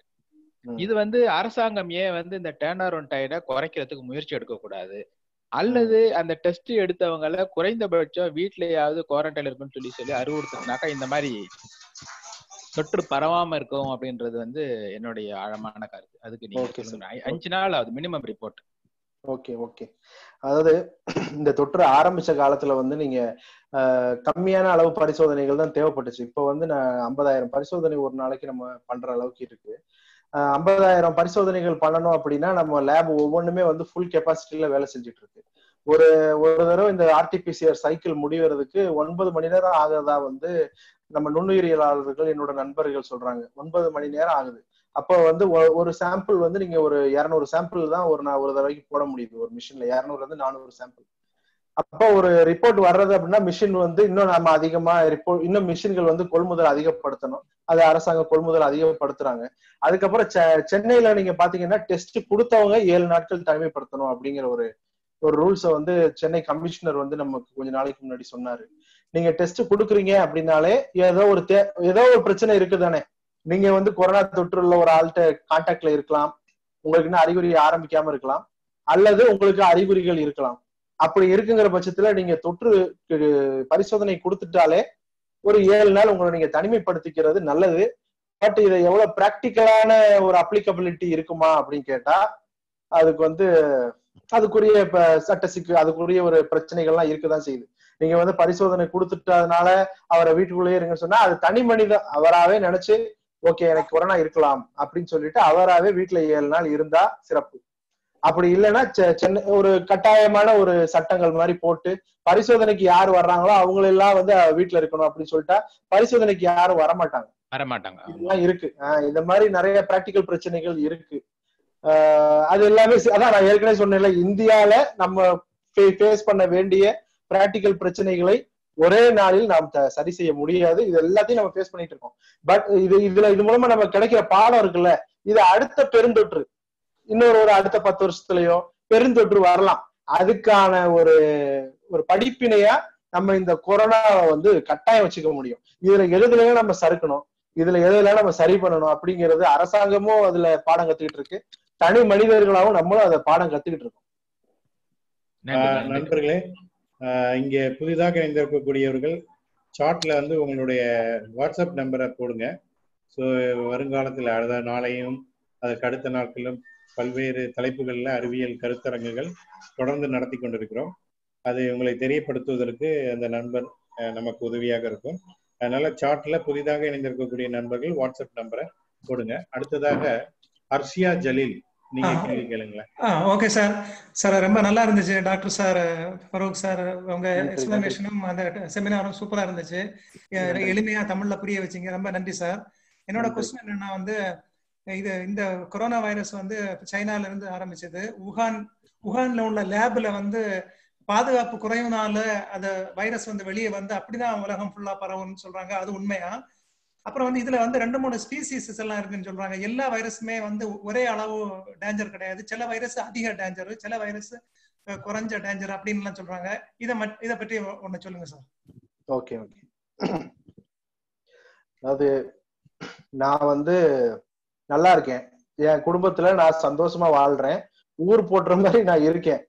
நான் ஏன் வந்து அடுத்தவங்க மே- தொ- மண்ணலி போடணும்? அது போக வந்து நான் நான் தொழில் பண்றது அந்த ஊர்ல இருக்கிற மிச்ச ஆளுங்களை வச்சுதான். சரிங்களா? அப்ப வந்து நான் ஏன் வந்து அடுத்தவங்களுக்கு எல்லாம் வந்து பிரச்சனையை ஏற்படுத்தணும்னு நினைக்கணும்? நான் சந்தோஷமா தானே இருக்கேன். அதே தியரியை வந்து சைனாவுக்கு நீங்க வந்து ஃபில் பண்ணி பாருங்க. எனக்கு வந்து அதோட உண்மை தன்மையை வந்து யாருமே அறிய முடியாது. அதை அதை விட்டுருவோம். இது வந்து ஒரு மித்து தானே பரவிக்கிட்டு இருக்குது. சைனா வந்து உலகத்தோட ரெண்டாவது மிக பெரும் பொருளாதாரம். அவனோட அவனோட ப்ராடக்ட்ஸ் இல்லாத ஒரு ஊருக்கு ஒரு இடம் கிடையாது ஒரு வீடு கிடையாது. நீங்க என்ன சொன்னாலும் சைனா ப்ராடக்ட் நீங்க ஒருத்தரும் பின்னாடி திருப்பி பார்த்தா அது மேட் இன் சைனான்னு இல்லாட்டினா கூட அதோட ஏதோ ஒரு பொருள் வந்து சைனால இருந்து வந்திருக்கும். அவன் எல்லாம் சந்தோஷமா இருக்க ஒரு நாடு. அந்த நாடு வந்து அமைதியா இருக்குது. அ- அது போக நான் வந்து பக்கத்து வீட்டுல தீய கொளுத்துவேன் வேற என் வீட்லயே நான் தீய கொளுத்தி சோதிப்பேனா? என் வீட்டுக்கு மேலேயே தீய கொளுத்தி பக்கத்து வீட்டுக்குலாம் அது பரவட்டும். எல்லா வீட்லயும் பரவட்டும் ஜாலியா இருக்கட்டும் அப்படின்னு நான் நினைப்பேனா. அப்ப ஏன் சைனா வந்து அந்த அவன் அவன் ஊர்லயே வந்து அந்த நோயை பரப்பி விட்டு அந்த அளவுக்கு கொடூரமா ஏன் நம்ம யோசிக்கிறோம்? அந்த அளவுக்கு கொடூரமா ஒரு மனிதன் மாறி இருப்பானா? இல்ல சார் அங்க உள்ள லேப்ல உள்ள பாதுகாப்பு குறைவுனால பரவுச்சா? அந்த மாதிரி. அந்த அந்த லேப்ல நீங்க அந்த பாதுகாப்பு ஆஸ்பெக்ட்ல அதாவது அந்த ஆஸ்பெக்ட்ல கேக்குறீங்க. ஓகே. நம்ம. அதாவது அதாவது அந்த லேபோட பாதுகாப்பு குறைபாடுனால இதாச்சா? இல்ல வந்து அந்த ஒரு கொரோனா வைரஸ் வந்து ஒரு பேட்ல இருந்து பரவி வந்துச்சா? நாம வந்து சைனாவோட லாயர் கிடையாது. ஒண்ணு புரிஞ்சுக்கணும். சைனாக்கு நம்ம லாயர் கிடையாது. நம்ம வந்து நோய் நம்ம கிட்ட பரவுது. நம்மளை எப்படி நம்ம பாதுகாத்துக்கணும் அப்படின்னு தான் நம்ம பார்க்கணுமே தவிர அந்த நோயை வந்து அவனோட இதுல பரவுச்சு அப்படின்னா மிச்ச நாடுகள்லாம் இருக்குது. அதை வந்து தீவிரமா ஆராய்ச்சி பண்ணி அதை வெளியே கொண்டு வர்றதுக்கு. அதை பத்தி நம்ம கருத்து ஓகே அது ஒரு வேளை அப்படியே வச்சுக்குவோம். லேப் வழியா தான் அது பரவுச்சுன்னு வச்சுக்கிட்டாலும் அது ஒரு அசம்பாவிதம் அது ஒரு ஆக்சிடென்ட் ஓகே ஓகே சரிதானே? ஓகே சார் ஒரு நான் ஏற்கனவே சொல் சார் இது ஸ்பீசிஸ் ஒரு- நிமிஷம். Sir species. மிஸ்டர் ஜலீல் ஒரு நிமிஷம் ஒரு நிமிஷம். மன்னிக்கவும் Okay. மன்னிக்கவும் ரெண்டு பேருக்கும் மன்னிக்கவும். சாரி என் பேர் வந்து டாக்டர் டிவி வெங்கடேஸ்வரன். நான் விஞ்ஞான் பிரசார்ல விஞ்ஞானியா இருக்கேன். ஜஸ்ட் இந்த கேள்வி மேல சில விஷயங்கள் ஜஸ்ட் ஆட் பண்ணலாம்னு நினைச்சேன். ஒரு அறிவியல் பார்வையில இருந்து. நீங்க கரெக்டா சொன்ன. மாதிரி நம்ம யாரும் வந்து சைனாக்கான லாயரோ இல்ல இதெல்லாம் வந்து சைனா அப்படி ஐ மீன் இதுல பேசிட்டு இருக்கலாம். ஆனா அறிவியல் பூர்வமா நம்ம பேசணும்னு சொன்னாக்க நம்ம வந்து அறிவியல் பார்வையில இதை பார்க்க முடியும் அப்படிங்கறத பத்தி ஒரு ஜஸ்ட் ஒரு ஃபியூ வேர்ட்ஸ் ஆன்சர் பண்ணலாம் ரெண்டு விஷயங்கள் சேர்த்து சொல்றேன். ஒண்ணு அந்த பர்டிகுலர் ஊஹான்ல இருக்கக்கூடிய அந்த ஆய்வு நிறுவனத்தோட இன்றைக்கு வந்து பல்வேறு ஆய்வு நிலங்கள் வந்து உலகம் ஃபுல்லா பாத்தீங்கன்னா அவங்க வந்து ஒரு நாட்டுல இருந்தாலும் அந்த நாடு மட்டுமே அந்த ஆய்வு நிறுவனத்துல இருக்கிறது இல்ல. இப்போ நீங்க அந்த ஆய்வு நிறுவனத்துல பாத்தீங்கன்னா அந்த ஆய்வு நிறுவனம் வந்து அமெரிக்கால இருக்கக்கூடிய இன்னொரு ஆய்வு நிறுவனத்தோட இணைஞ்சு வேலை செய்யறாங்க இன்ஃபேக்ட் அந்த வௌவால் மேல இருக்கக்கூடிய அந்த கொரோனா வைரஸ் நானூறு சொன்னார் இல்லையா இவர் ஸ்பீக்கர் அது அது எல்லாத்தையுமே ஆராய்ச்சி செஞ்சதுல வந்து அமெரிக்காவோட ஜாயிண்டா தான் ஆராய்ச்சி பண்ணிருக்காங்க இது வந்து ரகசியமா பண்ணது இல்ல ஈவன் இந்தியால இருக்கக்கூடிய நேஷனல் சென்டர் ஃபார் பயாலஜிக்கல் சயின்சஸ்னு சொல்லக்கூடிய ஒரு ஆய்வு நிறுவனமும் அவங்களோட சேர்ந்து பண்ணிருக்காங்க ஸோ ஐ மீன் இந்தியால இருக்கக்கூடிய வைரஸ் எல்லாமும் சேர்த்து. ஸோ இப்போ இன்னைக்கு வந்து வேர்ல்ட்ல பாத்தீங்கன்னா பெரும்பாலான அதாவது ராணுவ ரகசியமா இருக்கக்கூடிய ஆய்வு நிறுவனம் வேற. பப்ளிக் ஆய்வு நிறுவனங்கள்லாம் வந்து நீங்க பாத்தீங்கன்னு சொன்னாக்க அங்க ஸ்டூடெண்ட்ஸ் இருப்பாங்க. பல நாடுகள்ல இருந்து ஆராய்ச்சியாளர்கள் வந்து வேலை செய்வாங்க. அது மாதிரி தான் இருக்கும். இந்த மாதிரி ஒரு இவ்வளவு ரகசியம் எல்லாம் வந்து அவ்வளவு சாத்தியம் இல்லை. That is number one but அது இல்ல. அது சயின்ஸ் இல்ல. இது ஜஸ்ட் தகவல். சயின்ஸ்க்கு வரேன். இப்போ நீங்க இந்த நாவல் கொரோனா வைரஸையும் மற்ற கொரோனா வைரஸையும் நீங்க மரபணு ரீதியா நீங்க கம்பேர் பண்ணி பார்க்கலாம். அப்படி கம்பேர் பண்ணி பாத்தீங்கன்னு சொன்னா இந்த நாவல் கொரோனா வைரஸ் வந்து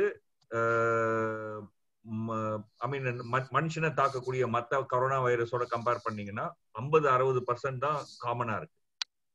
வௌவால தாக்குற கொரோனா வைரஸோட தான் தொண்ணூத்தாறு பர்சன்ட் காமனா இருக்கு. ஸோ இது இதுல இதுக்கான மீனிங் என்னன்னு சொன்னா வௌவால தாக்குற வைரஸ் வந்து மனுஷனை தாக்க முடியாது. மனுஷனை தாக்குற வைரஸ் தான் மனுஷனை தாக்க முடியும். சப்போஸ் நான் வந்து ஒரு வைரஸை வச்சு ஒரு வைரஸ் ஆயுதம் தயாரிக்க விரும்பினேன்னா மனுஷனை தாக்குற வைரஸை இன்னும் வீரியமாக்க தான் நான் முயற்சி பண்ணுவேனே தவிர மனுஷனையே தாக்காத ஒரு வைரஸ் எடுத்து நான் அதுல வேலை பண்ண மாட்டேன் இல்லையா?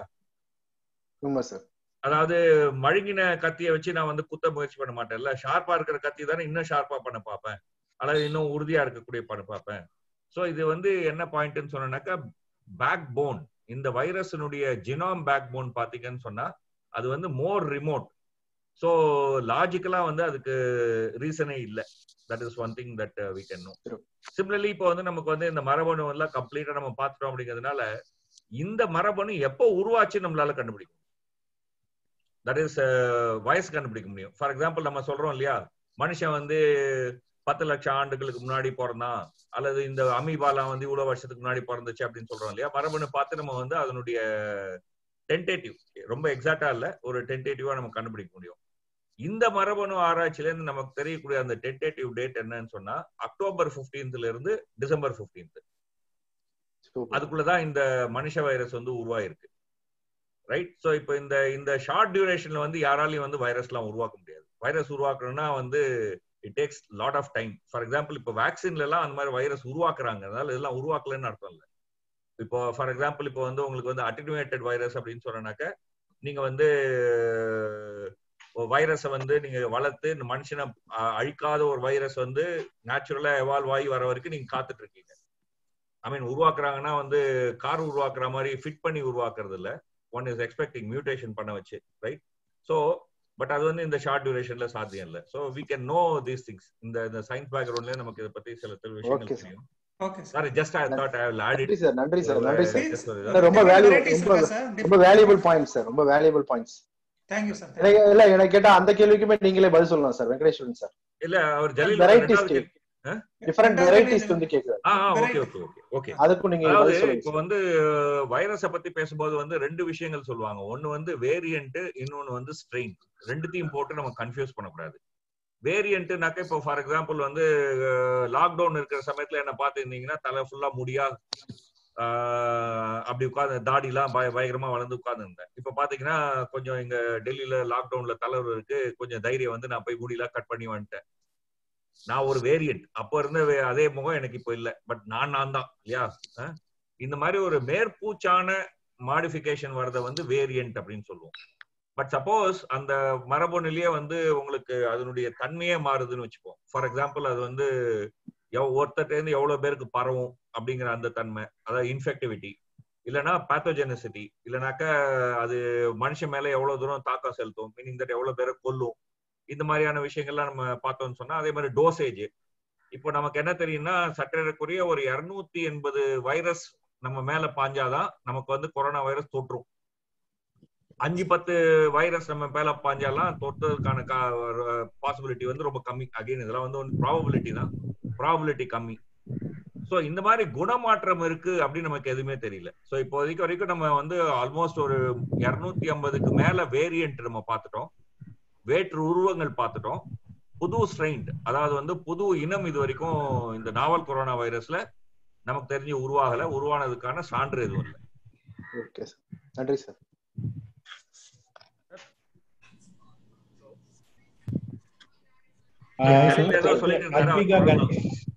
அடுத்த கேள்வி கேள்வி அத்விகா கணேஷ் கேள்வி கேளுங்க. Yes sir yes sir first of all நம்ம நாட்டுல வந்து கேளுங்க சார். நம்ம நாட்டுல வந்து டாக்டர் வந்து இப்போ வந்து பொக்கிஷமா கருதக்கூடிய காலம். வாய்ஸ் ரொம்ப லோவா இருக்கு. கேட்கல Ganesh? Yes sir yes sir இப்போ கேக்குதா சார் இப்போ கேக்குதா சார் நல்லா இருக்கு. ஆ, நம்ம நாட்டுல வந்து டாக்டர்கள்லாம் பொக்கிஷமா கருதக்கூடிய காலம் இது. இந்த நேரத்துல நூத்தி ஏழு மருத்துவர்களை நம்ம நம்ம நாட்டுல இழந்திருக்கோம் அவங்களுக்கு வீர வணக்கங்களை முதல்ல தெரிவிச்சுக்கிறேன். இப்ப வந்து நம்ம இந்த விட்டமின் சியும் ஜிங்க்கும் சாப்பிடலாம் அப்படின்னு சொல்றோம் இல்லையா சார்? இப்ப இது வந்து எவ்வளவு காலம் சாப்பிடலாம்? ஒருத்தருக்கு வந்து இது வரைக்கும் கொரோனா வைரஸ் அஃபெக்ட் ஆகாத பர்சன் வந்து ஒரு வாரம் எடுத்துக்கிறதா இல்ல ஆறு மாத காலங்கள் எடுத்துக்கிறதா? இது ஒரு கேள்வி சார். ரெண்டாவது கேள்வி வந்து விண்டர் சீசன்ல இதோட வைரஸோட விருவன்ட் எப்படி இருக்குன்றது மட்டும் தெரியப்படுது சார். வருங்காலங்கள்ல மழைக்காலங்கள் இருக்கிறனால விண்டர் சீசன்ல எப்படி இருக்கும்னு தெரியப்படுங்க மூணாவது வந்து எனக்கு வந்து வறட்டு இருமல் வந்து வின்டர் சீசன்ல இருக்கும் சார். அப்ப நான் என்ன மாதிரி எச்சரிக்கை எடுத்துக்கணும்ன்றது தெரியப்படுது. அதே மாதிரி வீசிங் சைல்டு இருக்கிறவங்க வந்து என்ன மாதிரி முன்னெச்சரிக்கை எடுத்துக்கணும் மட்டும் தெரியப்படுங்க பெட்டரா ஓகே அதாவது விட்டமின் சி விட்டமின் ஜிங்க் இது வந்து இந்த ரெண்டும் வந்து டைரக்டா கொரோனா வைரஸ் வச்சு பெரிய ஆராய்ச்சிகள் இல்லாட்டியும் கூட ஃப்ளூ ஃப்ளூ வைரஸ் நம்ம வந்து அறிவியல் பூர்வமா ஆராய்ச்சி பாத்தீங்கன்னா ஃப்ளூவை தான் வந்து கடந்த நூறு வருஷமா ஆராய்ச்சி பண்ணிட்டு இருக்கோம். எல்லா உலக நாடுகளையும். அதுல vitamin C zinc vitamin D அதுக்கப்புறம் ஹை புரோட்டீன் டயட் நல்ல புரோட்டீன் வந்து புரதச்சத்து உள்ள உணவு உணவு முறை இருக்கிறவங்களுக்கு ஃப்ளூ வைரஸ் வந்து உள்ள பெரிய லெவல்ல பிரச்சனைகள் ஏற்படுறதுக்கான வாய்ப்புகள் வந்து குறைவு அப்படின்னு கண்டறியப்பட்டுள்ளது. அதனால விட்டமின் சி ஜிங்க் மாத்திரைகள் வந்து நமக்கு கொரோனா தொற்று ஏற்படுவதற்கு முன்பு அதை தடுப்பதற்காக பரிந்துரைக்கப்படுகிறது. கொரோனா தொற்று வந்தவர்களுக்கு பெரிய எஃபெக்ட் இருக்குமா அப்படின்னு கேட்டா அது ஒரு கொஸ்டின் மார்க் தான். கொரோனா வராம தடுக்கிறதுக்கு நம்மளோட அந்த முன்கள எதிர்ப்பு சக்தி இருக்குல்ல. டைரக்டா ஃபர்ஸ்ட் எடுத்தோடனே ஒரு வைரஸ் உள்ள வருது. அப்ப வந்து எதிர்ப்பு சக்தி தேவைங்கிறதுக்காக விட்டமின் சி சிங்க் மாத்திரைகள் பரிந்துரைக்கப்படுது. அது எவ்வளவு நாள் எடுக்கலாம்னு கேட்டீங்க. என்கிட்ட ஒரு நான் ஒரு ஒன் டு டூ மந்த்ஸ் எடுத்தா போதும்னு சொல்லுவேன். ஏன்னா வந்து ஒரு விட்டமினையே வந்து ஹை டோஸ்ல திருப்பி திருப்பி எடுத்துட்டு இருக்கிறதுங்கிறது ஹைப்பர் விட்டமினோசிஸ் அப்படிங்கிற ஒரு பிரச்சனையை உருவாக்கி அதனால தலைவலி வரும். உமட்டல் வாந்தி இந்த மாதிரி சைடு எஃபெக்ட்ஸ் எல்லாம் வர்றதுக்கான வாய்ப்பு இருக்குங்கிறதுனால ஒரு ரெண்டு மாத காலம் அதை எடுத்தா போதும். நம்ம வந்து தடுப்புல வந்து கான்சென்ட்ரேட் பண்ண வேண்டியது முகக்கவசமும் தனி மனித இடைவேளை இதைத்தான் நம்ம வந்து முக்கியமான கான்சென்ட்ரேஷன் அதுக்கப்புறம் கைகளை வந்து அடிக்கடி சோப் போட்டு கழுவி கொண்டே இருப்பது. இந்த மூணையும் நம்ம முக்கியமான நோய் தடுப்பு நடவடிக்கைகளா இப்போதைக்கு நம்ம வந்து கண் கையில் இருக்கும் வேக்சினா வந்து நம்ம பார்க்க வேண்டியது இந்த மூணையும் தான். கையில என்ன வேக்சின் வரல? இப்ப இருக்க கையில இருக்கிற வேக்சின் வந்து முகக்கவசம் கைகளை அடிக்கடி சோப் போட்டு கழுவுவது. மூன்றாவது தனி மனித இடைவேளையை நல்லபடியா மாண்போடு கடைபிடிப்பது. இதுதான். ரெண்டாவது கேள்வி நீங்க என்ன கேட்டீங்கன்னா வின்டர் சீசன்ல வந்து இதோட வீரியம் வந்து ஸ்ட்ராங்கா இருக்குமான்னு. அது எப்பவும் போலதான் இருக்கும். சார் சொன்ன மாதிரி வைரஸ் வந்து அது எப்பயும் போலதான் இருக்கும். வெங்கடேஸ்வரன் சார் சொன்னார் இல்லையா? அது அப்படியேதான் இருக்கும். ஆனா வின்டர் சீசன்ல வந்து நம்மளோட என்விரான்மெண்ட் வந்து கொஞ்சம் கூலா மாறி எந்த வைரஸ் தொற்றும் வந்து ஈஸியா பரவுற தன்மையை வந்து அதிகமாக்குது. அதனாலதான் வந்து நீங்க மழைக்காலம் ஒரு குளிர்காலத்துல வந்து அடிக்கடி காமன் கோல்டு எல்லாரும் வந்து ஆஹ், மருத்துவமனைகளை நோக்கி படையெடுப்பார்கள். அப்ப இந்த வைரஸ் வந்து இதுவும் அதை வந்து ஒரு சாதகமான ஃபியூச்சரா யூஸ் பண்ணிக்கிறதுக்கு வாய்ப்புகள் ரொம்ப அதிகம். வெயில் வந்தாலே கொரோனா வராது நம்ம நாட்டுல எல்லாம் ஒண்ணும் செய்யாது அப்படின்னு சொல்லிக்கிட்டு இருந்த இந்த ஏப்ரல் மே ஜூன் மாதங்கள்ல தான் நம்ம வந்து ஒரு லட்சமா இருந்த தொற்று வந்து கண்டறியப்பட்ட தொற்றுகள். பத்து லட்சமா மாறி இருக்குது. அப்ப நம்ம குளிர்காலத்துல கட்டாயம் வந்து இதோட பரவல் வந்து ஃபாஸ்டா தான் இருக்கும் அப்படிங்கிறது இல்லை. அதுக்கப்புறம் வந்து உங்களுக்கு தொண்டைக்கு வ- வர வர தொண்டை கரகரப்பு இதெல்லாம் இருக்குன்னு சொல்றீங்க. உங்களுக்கு. அதை திருப்பி கொஞ்சம் ரிப்பீட் பண்ணுங்க அந்த கொஸ்டின் வின்டர் சீசன்ல எனக்கு வறட்டு திரு இருக்கும். தங்கராஜ் திரு தங்கராஜ் கேளுங்களேன். இல்ல இல்ல இல்ல இல்ல அதே கொஸ்டினோட கடைசி ரெண்டு பாயிண்ட்ஸ் தான் ஓகே அதாவது எனக்கு வந்து வின்டர் சீசன்ல திரு தங்கராஜ். சார் ஆ, okay, sir. சார் ஒரு நிமிஷம் சார் சார். கொஞ்சம் ஃபாஸ்டா கேளுங்க. அதான். வின்டர் சீசன்ல வந்து எனக்கு வந்து வறட்டு இருமல் வந்து வரும் சார் ஒரு இரண்டு மாத காலங்கள் வரும் சார் ஆக்சுவலா ஓகே அப்ப வந்து நான் என்ன மாதிரி முன்னெச்சரிக்கை இந்த கொரோனா தொற்று காலத்துல என்ன மாதிரி முன்னெச்சரிக்கை நடவடிக்கை எடுத்துக்கணும்? ரெண்டாவது வந்து குழந்தைகளுக்கு வீசிங் வர்ற குழந்தைகளுக்கு என்ன மாதிரி முன்னெச்சரிக்கை. அதாவது வின்டர் சீசன்ல மட்டும் வர்ற ஒரு வறட்டிருமல் வந்து அலர்ஜிக் ரீசன்னால அந்த சீசனல் அலர்ஜிக் ரைனைட்டிஸ் அல்லது சீசனல் அலர்ஜிக் பிராங்கைட்டிஸ் சொல்லுவோம். நுரையீரலோட அந்த ரெண்டு குழாய்களை வந்து தாக்கக்கூடிய ஒரு அலர்ஜிக் பிரச்சனை. அப்ப நீங்க அதுக்கு வந்து அதை சரி பண்றதுக்குரிய மாத்திரைகள் உண்டு. அதை நீங்க வந்து உங்களுடைய மருத்துவர்கிட்ட கேட்டு அதை அதை வாங்கி நம்ம இப்ப யூஸ் பண்ணிக்கலாம். எப்பயும் வருஷம் வருஷம் அதை நீங்க யூஸ் பண்ணுவீங்கன்னு நினைக்கிறேன். அதை நம்ம தொடரலாம். அதே மாதிரி வீசிங் இருக்கிற குழந்தைங்களை வந்து இன்னும் பக்குவமா வந்து அந்த வீசிங் எல்லாம் வராத மாதிரி ஸ்ப்ரே இன்ஹேலர் அதெல்லாம் இருக்கு இல்லையா? அதை நம்ம வந்து மருத்துவர்கிட்ட அந்த சுவாச நோய் மருத்துவர்கிட்ட பார்த்து கரெக்டா அதுக்குரிய முறையான சிகிச்சையை வந்து தொடர்ந்துகிட்டு இருந்தோம் அப்படின்னா அவங்களும் நார்மல் குழந்தைங்க மாதிரி தான் இருப்பாங்க. ரிஸ்க் இருக்காது. அதாவது நம்ம வந்து மருந்து மாத்திரைகளை யூஸ் பண்ணி அவங்களுக்கு வீசிங் இல்லாம பண்ணிட்டோம் அப்படின்னா அவங்களும் மற்ற குழந்தைகள் மாதிரி தான் பிரச்சனை இல்லாம இருப்பாங்க. இதுல என்னன்னா குழந்தைங்களுக்கு வந்து மரண விகிதம் ரொம்ப ரொம்ப ரொம்ப ரொம்ப கம்மிங்கிறதுனால குழந்தைங்களை பத்தி பெருசா எமோஷன் ஆகி பயப்பட தேவையில்லை. டோன்ட் வரி உலகம் ஃபுல்லா கிடைக்கிற டீடைல்ஸ் எல்லாமே சொல்றது என்னன்னா பத்து வயசுக்கோ இல்ல பதினஞ்சு வயசுக்கு கீழே இருக்கிற குழந்தைங்கள்ல வந்து மரண விகிதம் வந்து மிக மிக மிக குறைவு. பயப்படுற அளவுக்கு இல்ல. அதுதான் வந்து இந்த பெருந்தொற்றுல நம்ம வந்து பெருசா சந்தோஷப்பட வேண்டிய ஒரு விஷயம். மிக்க நன்றி திரு தங்கராஜ் திரு தங்கராஜ். இருக்கீங்களா? கேளுங்க. இல்லாட்டி Syed Majroob hi sir thank you for ஒரு கிளிவர் இன்ஃபர்மேஷன் சார் இப்போ எனக்கு இருக்க டவுட் என்னன்னா இப்ப இருக்க காமன் கோல்டுக்கும் கொரோனாவுக்கும் ஏதாவது தனிப்பட்ட சிம்டம்ஸ் இருக்கா அப்படின்னா? டெஸ்ட் மட்டும்தான் ஒரே வழியா இதை ஐடென்டிஃபிகேஷன் பண்றதுக்கு அப்படிங்கிறது. ஸோ சிம்டம்ஸ் வச்சு கண்டுபிடிச்சிக்க முடியுமா? இதோட சிம்டம்ஸ் எப்படி இருக்கும் படிப்படியா? அதை கொஞ்சம் சொன்னீங்க நல்லா இருக்கும் சார் இது கொரோனா வைரஸோட சிம்டம்ஸ் எப்படி இருக்கும் அப்படின்னா வந்து ஒரு நல்ல காய்ச்சல் வந்து அடிக்கலாம். காய்ச்சல் வந்து அடிக்கலாம். முதல் மூன்று நாட்களுக்கு காய்ச்சல் இருக்கும். அதுக்கப்புறம் வந்து இந்த காய்ச்சல் வந்து எதை டினோட் பண்ணுது அப்படின்னா ஒரு வைரஸ் உள்ள வந்துருச்சு. சுவாச பாதையில வந்து அந்த வைரஸ்க்கும் நமக்கும் நம்ம எதிர்ப்பு சக்திக்கும் நடுவுல போர் போர் ஆரம்பிச்சிருக்கு அப்படிங்கிறது தான் இன்ஃபிளமேஷன் ஆரம்பிச்சிருக்கு. அந்த இன்ஃபிளமேஷனோட ஒரு சிம்டம் ஒரு சைன் தான் வந்து காய்ச்சல். சோ காய்ச்சல் ஒருத்தவருக்கு அடிக்குது அப்படின்னா ஏதோ ஒண்ணு உள்ள வந்திருக்கு. அது பாக்டீரியாவா இருக்கலாம் வைரஸா இருக்கலாம். பட் இந்த சுச்சுவேஷன்ல எல்லாரும் நம்ம கொரோனா பெருந்தொற்றை பத்தி தான் நம்ம அதிக அக்கறை எடுக்கணும். ஏன்னா வந்து அன்லஸ் ப்ரூவ்ட் அதர்வைஸ்னு ஒரு பாயிண்ட் இருக்கு. நீங்க வந்து அது வந்திருக்கிறது கொரோனா அப்படிங்கறத நீங்க கொரோனா இல்லைன்னு ப்ரூவ் பண்றாத வரைக்கும் அது வந்திருக்கிறது கொரோனா தான். சரிங்களா? அதனால காய்ச்சல் வந்திருக்கு அப்படின்னா அலர்ட் ஆயிரணும். காய்ச்சல் வந்த ஒரு நான்காவதுல நாள்ல இருந்து லேசா இருமல் வந்திருக்கு அப்படின்னா அந்த கொரோனா தொற்று வந்து அந்த வைரஸ் வந்து அடுத்த லெவலுக்கு இறங்கி இருக்குன்னு அர்த்தம். அந்த நுரையீரலோட அந்த டியூப் சுவாசப்பாதை அப்புறம் கீழே நுரையீரலுக்கு இறங்கும். சோ சுவாச பாதையில அந்த நுரையீரலோட டியூப் பிராங்கை ட்ரக்கியான்னு சொல்லுவோம். அதுல இருந்துச்சு அப்படின்னா உங்களுக்கு இருமல் வர ஆரம்பிச்சிடும் அதுக்கப்புறம் அடுத்து நுரையீரலுக்கு கீழே இறங்கிருச்சு அப்படின்னாலே மூச்சு திணறல் மூச்சு விடுறதுல சிரமம் வர ஆரம்பிச்சிடும் இது எல்லாமே முதல் வாரத்துல நடக்கும் இந்த கொரோனா தொற்றுல.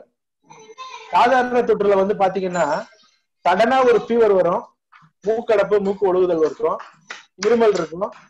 அதோட ஏ- ஏழு நாள் அத சரியா போயிடும். ஏன்னா நமக்கு தெரியும் காமன் கோல்டு வந்து seven days fever seven days disease ஆனா corona virus two week disease அதோட பிரச்சனைக்குரிய விஷயம் எல்லாமே ரெண்டாவது வாரத்துல தான் காட்டும். ஸோ முதல் வாரத்தோட கடைசியில யாரோ அன்மியூட் பண்ணுங்களேன். கொஞ்சம் இந்த பா- பசார். பாசர் ஏபி VP please unmute yourself or admin kindly unmute கன்லி mute பண்ணிட்டேன் டாக்டர் நீங்க பேசுங்க. Okay okay so corona virus வந்து ஃபர்ஸ்ட் வாரத்தோட கடைசியில தான் அதோட வேலையவே காட்ட ஆரம்பிச்சிருக்கும். நீங்க ஃபர்ஸ்ட் வாரத்தோட கடைசியில அவர் நல்ல இருமலோட நல்ல கொஞ்சம் மூச்சு இருப்பார். ஆனா காமன் கோல்ட்ல முத வாரத்தோட எண்டுல அவர் நோயில இருந்து சரியா இருப்பார். இதுதான் டிஃபரன்ஸ் ஆனா இப்ப நான் என்ன சொல்லுவேன் அப்படின்னா எது வந்தாலும் காய்ச்சல் வந்தாலும் சரி காய்ச்சல் இருமல் வந்தாலும் அது காமன் கோல்டுன்னு வெயிட் பண்ணிட்டு இருக்கிறத விட தயவு செய்து மருத்துவ உதவியை நாடி பரிசோதனை செய்து வந்திரு அலையா விருந்தாளியாக வந்திருப்பது கொரோனா அல்ல என்று ப்ரூவ் ப்ரூவ் பண்ணிட்டு நிம்மதியா இருக்கிறது தான் சிறந்தது. அதுவும் வந்து முக்கியமா சொல்ல வேண்டியது இந்த ஹை ரிஸ்க் யாரெல்லாம் வந்து மரணம் அடைவதற்கு வாய்ப்பு அதிகம் வயசானவங்க அப்புறம் நீரிழிவு ரத்த கொதிப்பு கண்ட்ரோல்ல இருக்காதவங்க அப்புறம் சிறுநீரக வியாதிக்கு டயாலிசிஸ் பண்ணிட்டு இருக்கவங்க ரத்த கொதிப்பு இருக்கவங்க தென் புற்றுநோய் இருக்கவங்க இவங்க எல்லாருமே வந்து காய்ச்சல் வந்துச்சுன்னா நம்ம வந்து ரொம்ப கேர்ஃபுல்லா இருக்கும் அதான் நான் ஏற்கனவே பேசும்போது சொன்னேன் கொரோனா வந்து வெகு விரைவாக வெகு எளிதாக பரவக்கூடிய ஒரு வியாதி. அதனால நான் எனக்கு வராது அப்படின்னு ஒரு அசாட்டு தைரியம் ஒரு ஒரு வரட்டு கவரம் ஒரு பிடிவாதம் அந்த உணர்வுகள்லாம் இதுக்கு தேவையில்லை. அறிவியல் பூர்வமா பாத்தீங்கன்னா கொரோனா வந்து காமன் கோல்டோட ஃபாஸ்டா பரவுற ஒரு டிசீஸ் அதை வந்து நம்ம மைண்ட்ல வச்சுக்கணும். அதனால வந்திருக்கிறது காமன் கோல்டை விட கொரோனாவா இருக்கதான் வாய்ப்பு அதிகம். எங்க வந்து பெருந்தொற்றா அது பரவிக்கிட்டு இருக்கோ அங்க வந்து உங்களுக்கு காய்ச்சல் அடிக்குது அப்படின்னா தயவு செஞ்சு அதை கொரோனாவான்னு இல்லையான்னு பாத்துக்கோங்க. நன்றி. தங்கராஜ் திரு தங்கராஜ். வணக்கம் டாக்டர் சார். வணக்கம்.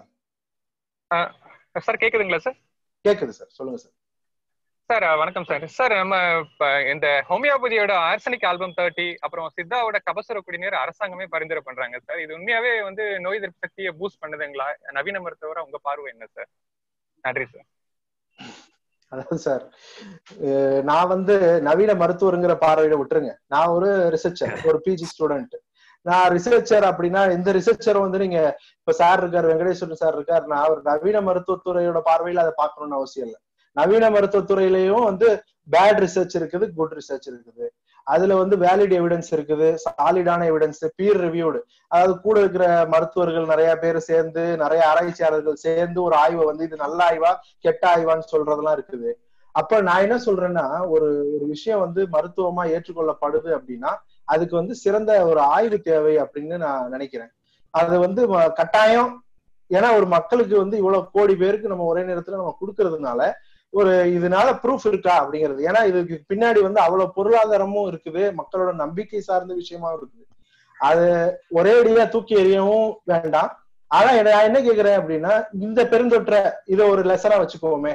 நம்ம கிட்ட வந்து அடிப்படையான சில மருத்துவ முறைகள் வந்து தொன்று தொட்டு பல்ல பன்னெண்டு காலமா வந்து நம்ம கிட்ட இருந்திருக்குது.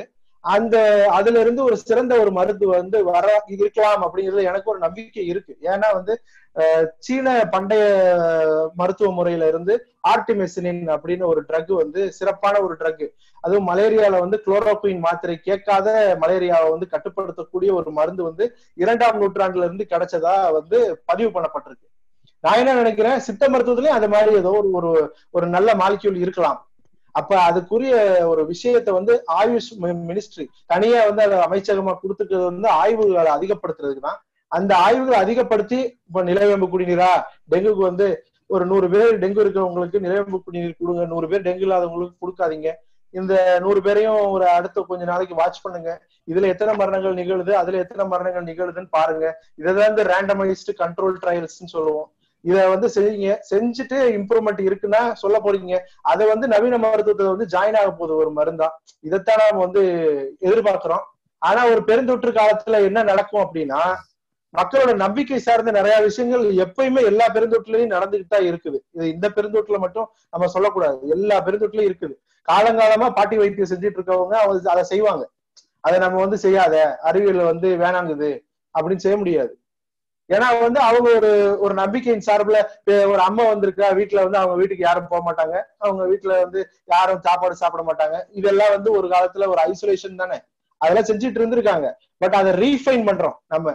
இன்குபேஷன் பீரியடு நோயோட இன்குபேஷன் பீரியடு அந்த வைரஸ் உள்ள வந்ததுல இருந்து எவ்வளவு நாள் பரவும் எவ்வளவு நாள் தனிமையில வைக்கணும் இது எல்லாத்தையும் நம்ம அறிவியல் வந்து தெல்ல தெளிவா அடுத்தடுத்து போட்டுக்கிட்டு இருக்கு. இதே மாதிரி அர்சனிக்கா ஆல்பாவை எடுத்து சோதனை பண்ணுங்க. இதே மாதிரி ஒரு கவசர குடிநீரை சோதனை பண்ணுங்க அப்படின்னு நம்ம கேட்கிறோம் அறிவியல் பார்வை அறிவியல் ஆய்வுகள்ல வந்து டைரக்ட் எவிடன்ஸ் இல்லாத எதையுமே வந்து நான் ஒரு ரிசர்ச்சரை வந்து நான் யார்கிட்டும் வந்து பரிந்துரை செய்யறது இல்லை ஆனா வந்து மக்களோட நம்பிக்கை வந்து பல அது ஹோமியோபதியை நம்புறவங்க ஒரு பத்து கோடி பேர் இந்தியாவில இருக்காங்க. சித்தாவை நம்புறவங்க தமிழ்நாட்டுல இருக்காங்க. அதுக்காக வந்து நம்ம கபசுர குடிநீரை கொடுக்கறதுனால மரணம் நிகழுதா? ஓவரா அதால சைடு எஃபெக்ட்ஸ் வருதா? அதனால மரணம் நிகழல அப்படின்னா அதை கொடுத்து பாக்குறோம் அதுல ஒன்னும் வந்து பெரும் தவறு இல்லை. பட் ஆனா இதை இதையே காரணமா வச்சு அறிவியல் ஆய்வுகள் நடக்கணுங்கிறது தான் என்னோட ஒரு தாழ்மையான கருத்தும் அவாவும். நன்றி. நன்றி சார் தேங்க்யூ அடுத்து எஸ்எல் எஸ்எல்னு இருக்கு. குட் யாரு? ஈவினிங் சார் கேளுங்க. குட் ஈவினிங் சார் என் பேர் சங்கமேஷ் சார் நான் சிக்ஸ்த் படிக்கிறேன் சார் வீடியோ கொஞ்சம் போடு. வீடியோ ஆன் பண்ணு.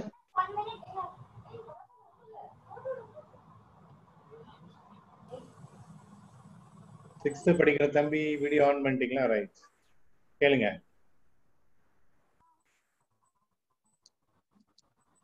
சார் நான் வந்து இப்போ ஒரு ஜென்ரல் கொஸ்டின் தான் சார் கேட்கிறேன் சார் அப்போ வந்து ஒருத்தர் மாஸ்க் போடாம அவர் கூட பேசியிருக்காரு. அப்போ வந்து அவரோட எச்சில் வந்து அவர் மேல ஸ்பிரிட்டா இருக்கு அவருக்கே தெரியல. பேசினவருக்கும் தெரியல சார் அப்புறம் அந்த எச்சல் பட்ட எஃபெக்ட் எவ்வளவு மணி நேரம் வரைக்கும் இருக்கும் சார் அந்த அவங்க மேல?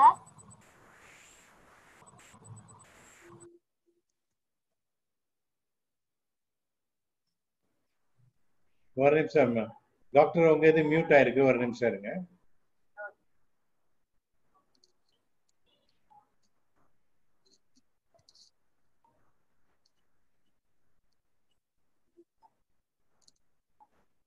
அன்மியூட் பண்ணிருக்க டாக்டர். பேசுங்க ஓகே சார். பேசுறாரு. அவர் வந்து மாஸ்க் போடல. நீயும் மாஸ்க் போடல. அவர் எச்சி துப்பிட்டாரு. அவர் பேசும்போது எச்சி விழுந்துருச்சுன்னா எவ்வளவு நாளைக்கு எவ்வளவு நேரத்துக்கு இருக்கும்னு கேட்கிறேன் அப்படித்தானே? தம்பி? எஸ்எல் அது வந்து எவ்வளவு நேரத்துக்கு இருக்கும்னா நான் பேசுறது கேக்குதா உனக்கு? எஸ்எல் உன் பேர் என்ன? நான் பேசுறது கேக்குதா? SL okay okay okay. Unmute பண்ணிக்கலாம் அவர் பேரு. ஆ ஓகே. ஆ கேக்குது. ஆ ஓகே. அதாவது தம்பி அவர் வந்து இருமும் போதே வந்து நீ வந்து ஸ்ப்ரே யூஸ் பண்ணிருக்கியா? பாடி ஸ்ப்ரே சென்ட் யூஸ் பண்ணிருக்கியா? ஸ்ப்ரே அந்த ஸ்ப்ரே அடிக்கும் போது வருதுல இல்ல சார் அந்த மாதிரி வந்து அவர் பேசும்போது உனக்கு கண்ணுக்கே தெரியாம அவ்வளவு ஸ்மால் ஸ்மால் ஸ்மால் பார்ட்டிகிள்ஸா வந்து வரும். இப்போ ஒரு ஆள் பேசும்போது பாத்தீங்கன்னா ஒரு தௌசண்ட் பார்ட்டிகிள்ஸ் வரும். அதுக்குள்ளார எல்லாம் வந்து இந்த வைரஸ் இருக்குல்ல அது ரொம்ப அதை விட குட்டியா இருக்கும். அது அதுக்குள்ள உட்காந்து நேரா உன் முகத்துல வந்து பட்டு நம்ம முகத்துல வந்து பட்டுறது இல்ல அப்ப நம்ம அதை வந்து மூச்சு விடுறோம்ல அப்ப அது அப்படியே உள்ள போயிடும். அதுல இன்ஃபெக்ஷன் வந்து பரவும். இப்போ ஒரு ஆள் வந்து அந்த மாதிரி இரும்பிட்டாரு ஒரு இன்னொரு இடத்துல ஒரு டேபிள்ல இரும்பிட்டாரு அப்படின்னா அந்த டேபிள்ல வந்து ஒரு டூ டேஸ் வரைக்கும் கூட அந்த வைரஸ் வந்து இருக்கும். டூ டேஸ் வரைக்கும் இருக்கும். அந்த இதோட. இப்ப நீ இப்ப நம்ம அடுத்து போய் அந்த டேபிள யூஸ் பண்றோம்ல அதுல கை வச்சிடுறோம்னு வச்சுக்கோ நம்மளோட கையில வந்துரும். இங்க எல்லாம் ஒட்டிக்கும். அப்புறம் நம்ம என்ன செய்வோம்? மூக்கு வந்து அரிச்சா என்ன செய்வோம்? இப்படியே இப்படி பண்ணுவோம்ல. மூக்குல இப்படி இப்படி எல்லாம் பண்ணிட்டு இருப்போம். கண்ணு வந்து இப்படி இப்படி பண்ணுவோம்ல. அப்ப நம்ம கண்ணு மூக்கு இதுல எல்லாம் இன்ஃபெக்ஷன் வந்து அந்த வைரஸ் உள்ள போயிடும் அதனாலதான் அடிக்கடி நம்ம சோப்பு போட்டு கையை முறைப்படி கழுவணும். ஓகே தானே? நன்றி நன்றி தம்பி. டாக்டர் டிவி ஏதாவது கேள்விகள் இருக்கா?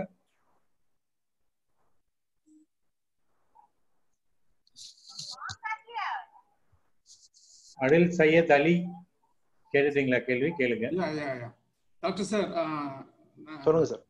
உங்க ஸ்பீச் நல்லா இருந்தது. ஒரு கொஸ்டின் நீங்க. பேசுறது நீங்க பேசாம சொன்னீங்க ninety percentage ninety percentage of people வந்து அதுல இருந்து ஆட்டோமேட்டிக்கா இது பண்ணி வந்துருவாங்க. ஒரு டென். பர்சன்டேஜ் ஒரு ஏழு பர்சன்டேஜ் ஹாஸ்பிட்டல் அட்மிட் ஆகி திரும்ப வந்துருவாங்க. ஒரு ஒரு பர்சன்டேஜ் தான் டெத் ரேட் இருக்குன்றது.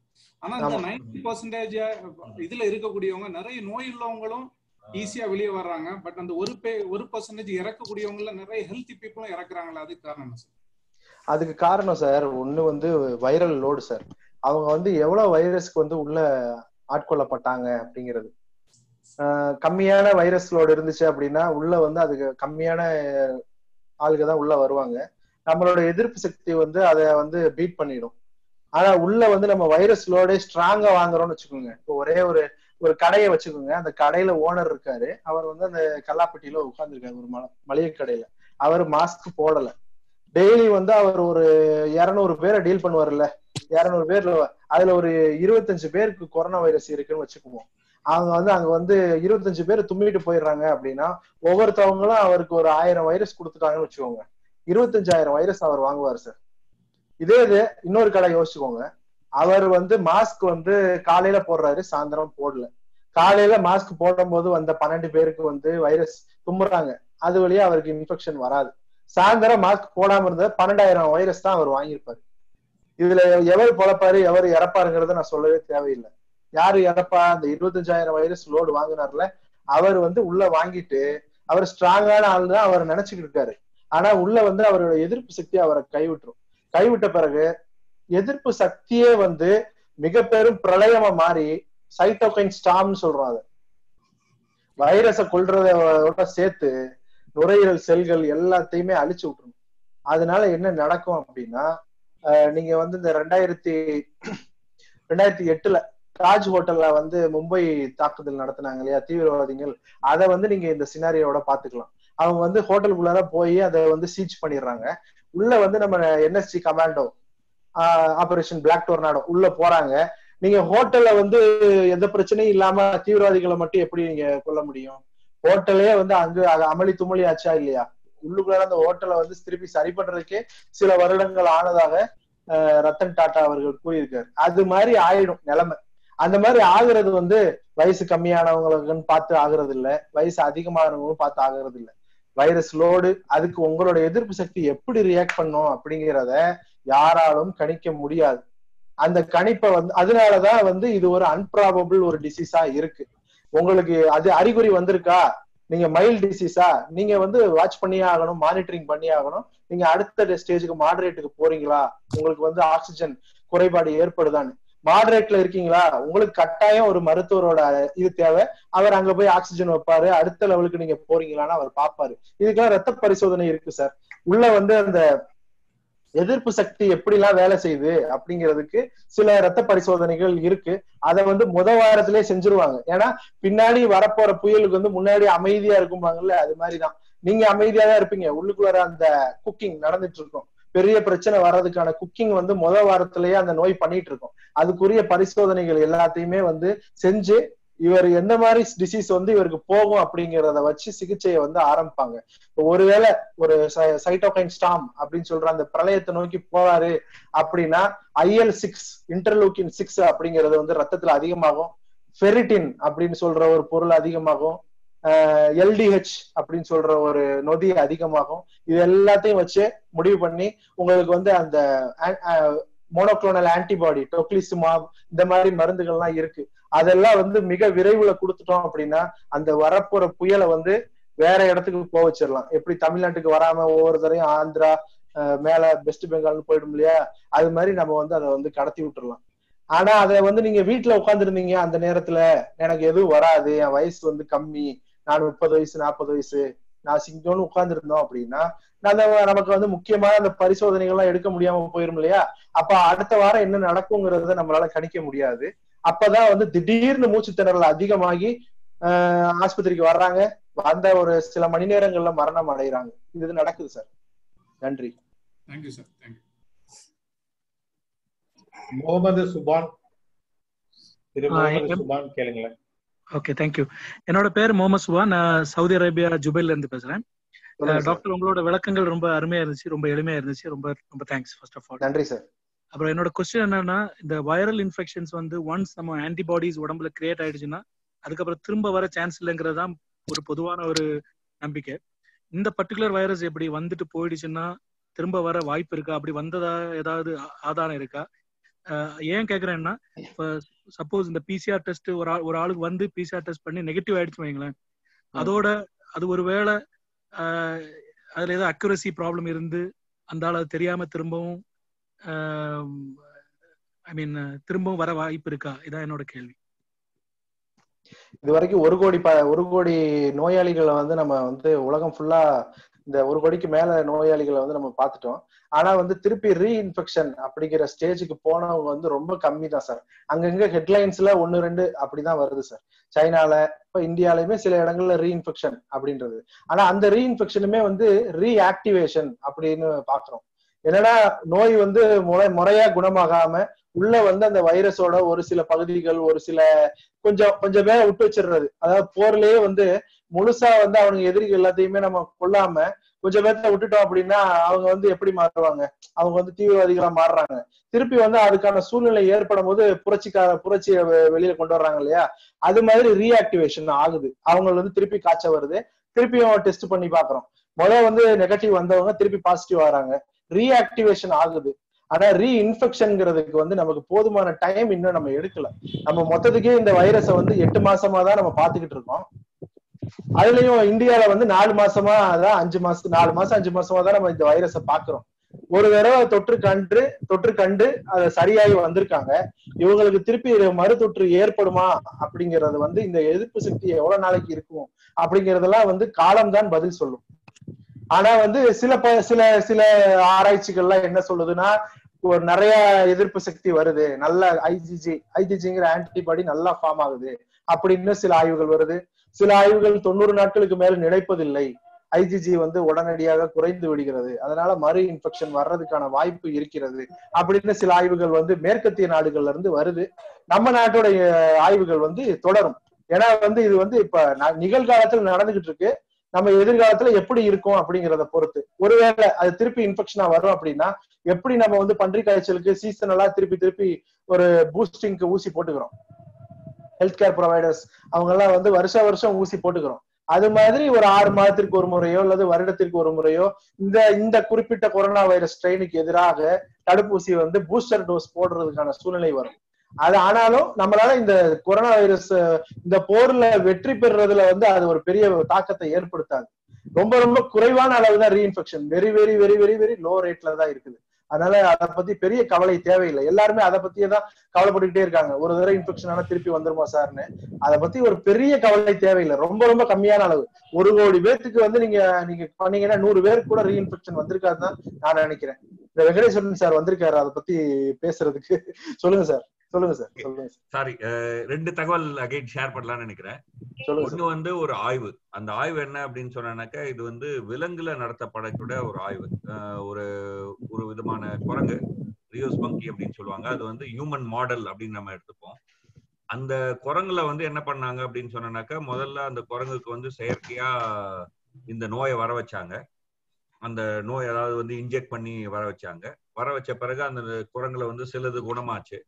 அந்த குணமான கு- குரங்குக்கு வந்து கொஞ்ச நாள் கழிச்சு திரும்பி ரீஇன்ஃபெக்ட் பண்ண ட்ரை பண்ணாங்க. அந்த ரீஇன்ஃபெக்ஷன்ல இன்ஃபெக்ஷன் ஆகல. ஸோ அனிமல் ஸ்டடீஸ்ல வந்து இது வரைக்கும் நமக்கு வந்து திரும்பி அந்த இன்ஃபெக்ஷன் திரும்பி மறுமுறை வருவது வந்து அவர் சொன்ன மாதிரி ஆறு மாசம் தான் ஆயிருக்கு ஸோ இந்த இந்த ஆய்வு வந்து ஒரு மூணு நாலு மாசத்துல திரும்பி வரல அப்படின்னு தான் தெரிஞ்சிருக்கே தவிர ஃபார் எக்ஸாம்பிள் அஞ்சு வருஷம் கழிச்சு வருமா அப்படிங்கிறதுக்கு இது விடை இல்லை. பட் இது வந்து அனிமல் ஸ்டடீஸ்ல இப்படி ஒன்று கிடைச்சிருக்கு. ரெண்டாவது வந்து ஜெனட்டிக் ஸ்டடீஸ் இப்போ வந்து இந்த நாவல் கொரோனா வைரஸ் வந்து மொத்தமா வந்து இருபத்தி ஒன்பது புரதம வந்து உற்பத்தி பண்ணும். இப்போ மனுஷன் எடுத்துட்டோம்னு சொன்னா மனுஷன்ல வந்து சுமார் ஐ திங்க் நாலு லட்சத்துக்கும் மேல நம்ம வந்து புரதங்களை உற்பத்தி பண்றோம். பட் இந்த நாவல் கொரோனா வைரஸ்ல வந்து மொத்தம் இருபத்தி ஒன்பது புரதம்.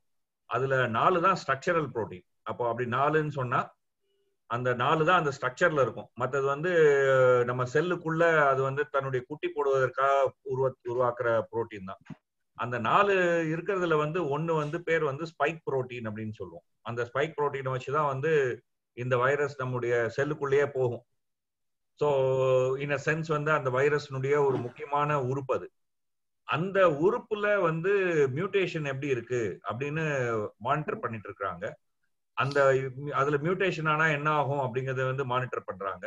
ஸோ இப்போ நமக்கு இருக்கக்கூடிய தகவலை வச்சு பார்த்தோம்னு சொன்னனாக்க ஸ்பைக் புரோட்டீனுக்கு எதிரான ஆன்டிஜென் உருவாச்சுன்னு சொன்னா ஐ மீன் சாரி ஸ்பைக் புரோட்டீனுடைய ஆன்டிஜெனுக்கு எதிராக ஆன்டிபாடி உருவாச்சுன்னு சொன்னா தென் uh, அந்த வைரஸ் வந்து டீஆக்டிவேட் ஆயிடும் அப்படின்னு தான் நம்ம பாக்குறோம் ஸோ அப்படின்னு சொல்லும்போது வந்து இந்த ஸ்பைக் புரோட்டீன் வந்து பெருசா சேஞ்ச் ஆகும் அப்படின்னு நமக்கு தெரியல. அதாவது இன்னைக்கு அதோட ஜெனாமிக் ஸ்ட்ரக்சரை வச்சு பார்க்கும்போது வந்து அது வந்து ஒரு கன்சர்வ்டு ஏரியாவா இருக்கு.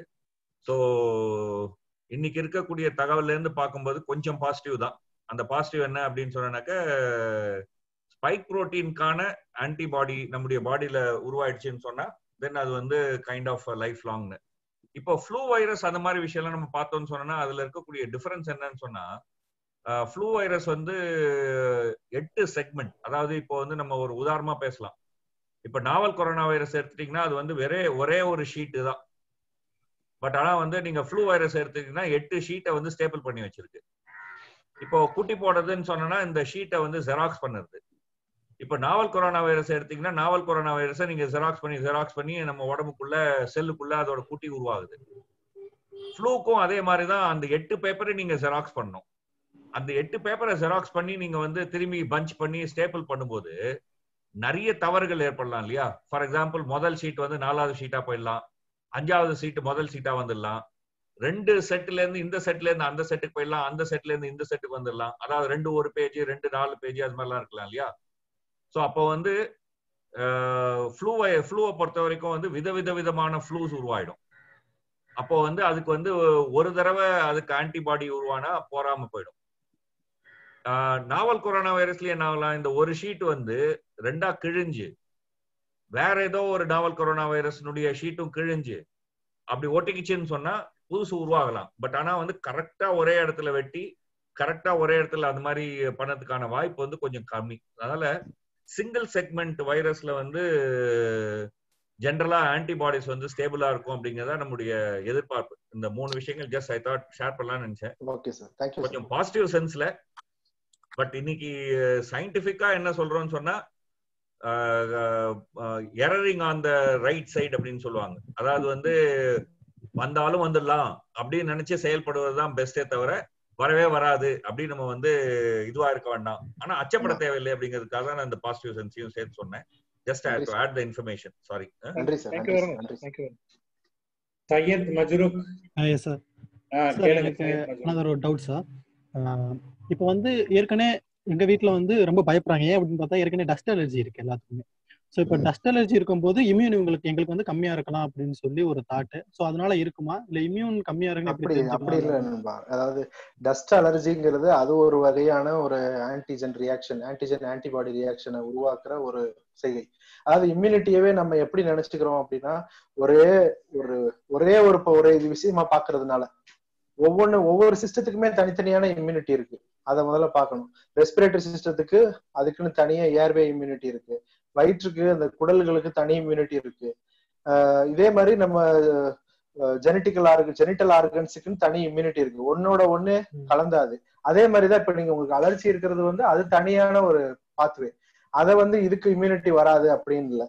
ஆனாலும் நுரையீரல் சம்பந்தமான அலர்ஜி உங்களுக்கு வர வைக்குது அப்படின்னா இன்ஃபெக்ஷனை வந்து உங்களுக்கு ஃபாஸ்டா வைரஸை வந்து வந்து ஒட்ட வைக்கிறது அது வந்து அடுத்து பல்கி பெருகிறதுக்கு வாய்ப்பு அமைகிறது இதெல்லாம் வந்து நுரையீரல் அந்த வீசிங் ரொம்ப அலர்ஜிக்கு ஆஸ்தமா இருக்கவங்க இவங்களுக்குலாம் கொஞ்சம் ஃபாஸ்டா நடக்குது. ரெண்டாவது அவங்களுக்கு ஏற்கனவே வந்து நுரையீரலோட வேலை வந்து காம்ப்ரமைஸ்டா குறைவா இருக்கிறதுனால அவங்க வந்து மூச்சு திணறல் நிலைக்கு ஃபாஸ்டா போறாங்க. இதெல்லாம் தான் ரிஸ்க் மத்தபடி வந்து உங்களுக்கு டஸ்ட் அலர்ஜி இருக்கிறதுனாலயே உங்களுக்கு அந்த பிரச்சனை பெருசாயிடும் அப்படின்னு கிடையாது. பயப்பட தேவையில்லை. Don't worry thank you thank you sir இன்னொன்று என்னன்னா அந்த இம்யூனிட்டி இன்க்ரீஸ் பூஸ்ட் பண்ணணும்னு நிறைய சொல்றாங்க.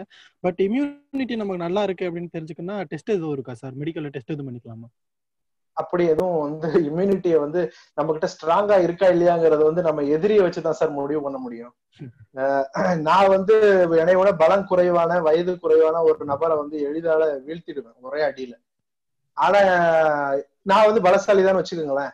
ஏன்னா என்னையோட இன்னும் பலசாலி ஸ்ட்ராங்கான ஆள் வந்தானா அவன் என்னை ஒரே அடியில அடிச்சு வீழ்த்திடுவான் இப்ப நீங்க எப்படி வந்து இம்யூனிட்டியை வந்து அளப்பீங்க அதனால நம்ம எதிரி தான் நம்ம எந்த ஆயுதத்தை எடுக்கிறோம்னு முடிவு பண்றாங்கன்னு இருக்கு இல்லையா? அப்ப நம்ம உள்ளார வராங்களே எதிரி அவனோட வீரியம் அவன் எவ்வளவு ஆள் உள்ள வரானுங்க இதை பொறுத்துதான் நம்மளோட எதிர்ப்பு சக்தி இருக்குது. அதனால வந்து எதிர்ப்பு சக்தியை வந்து எவ்வளவு இருக்கு அப்படின்னு ஒரு நம்பர்ல வந்து அளக்கவே முடியாது. வயசு நல்லா இருக்கும் ஸ்ட்ராங்கா இருப்பாங்க ஜிம் பாடியா இருப்பாங்க.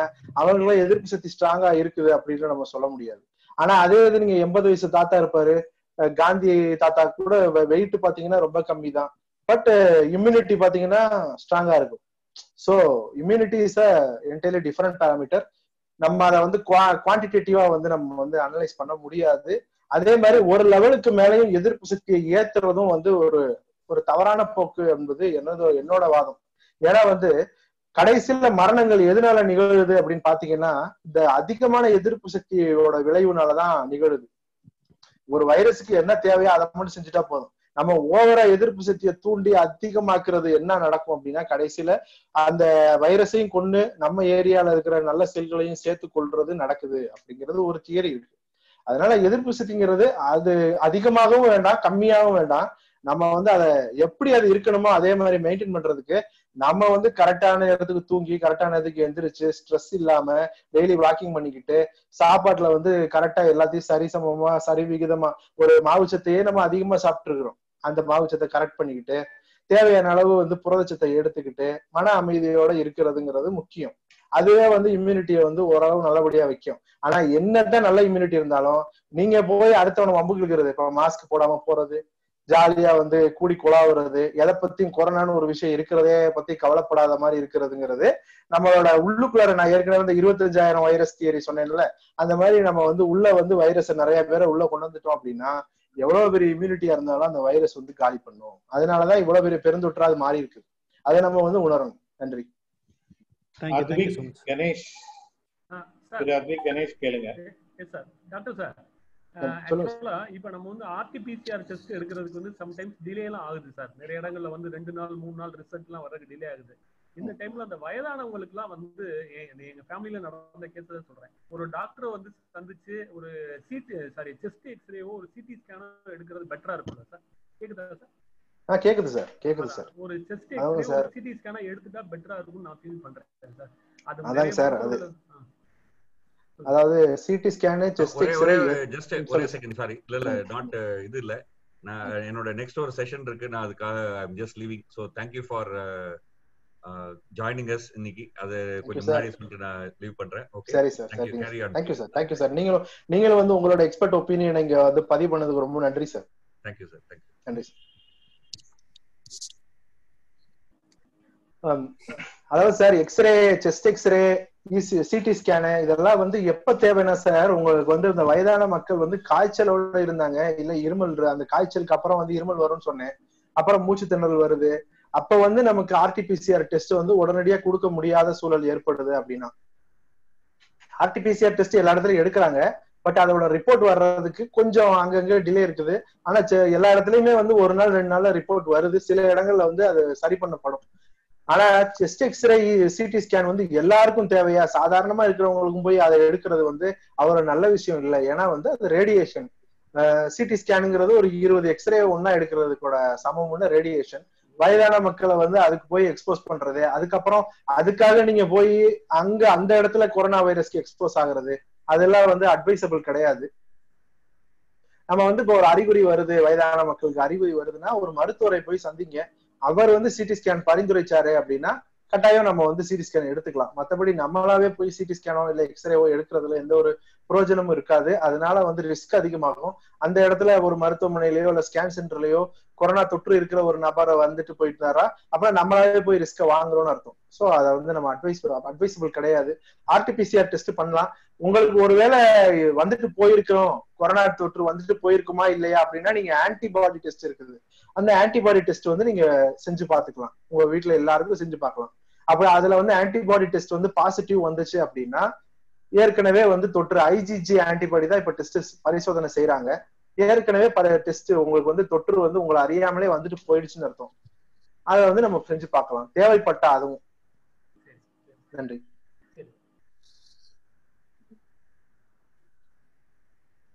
பாரதிதாசன் திருப்பி இதை கேள்வி கேட்கணும்னாரு. ஓகே அவரை தவிர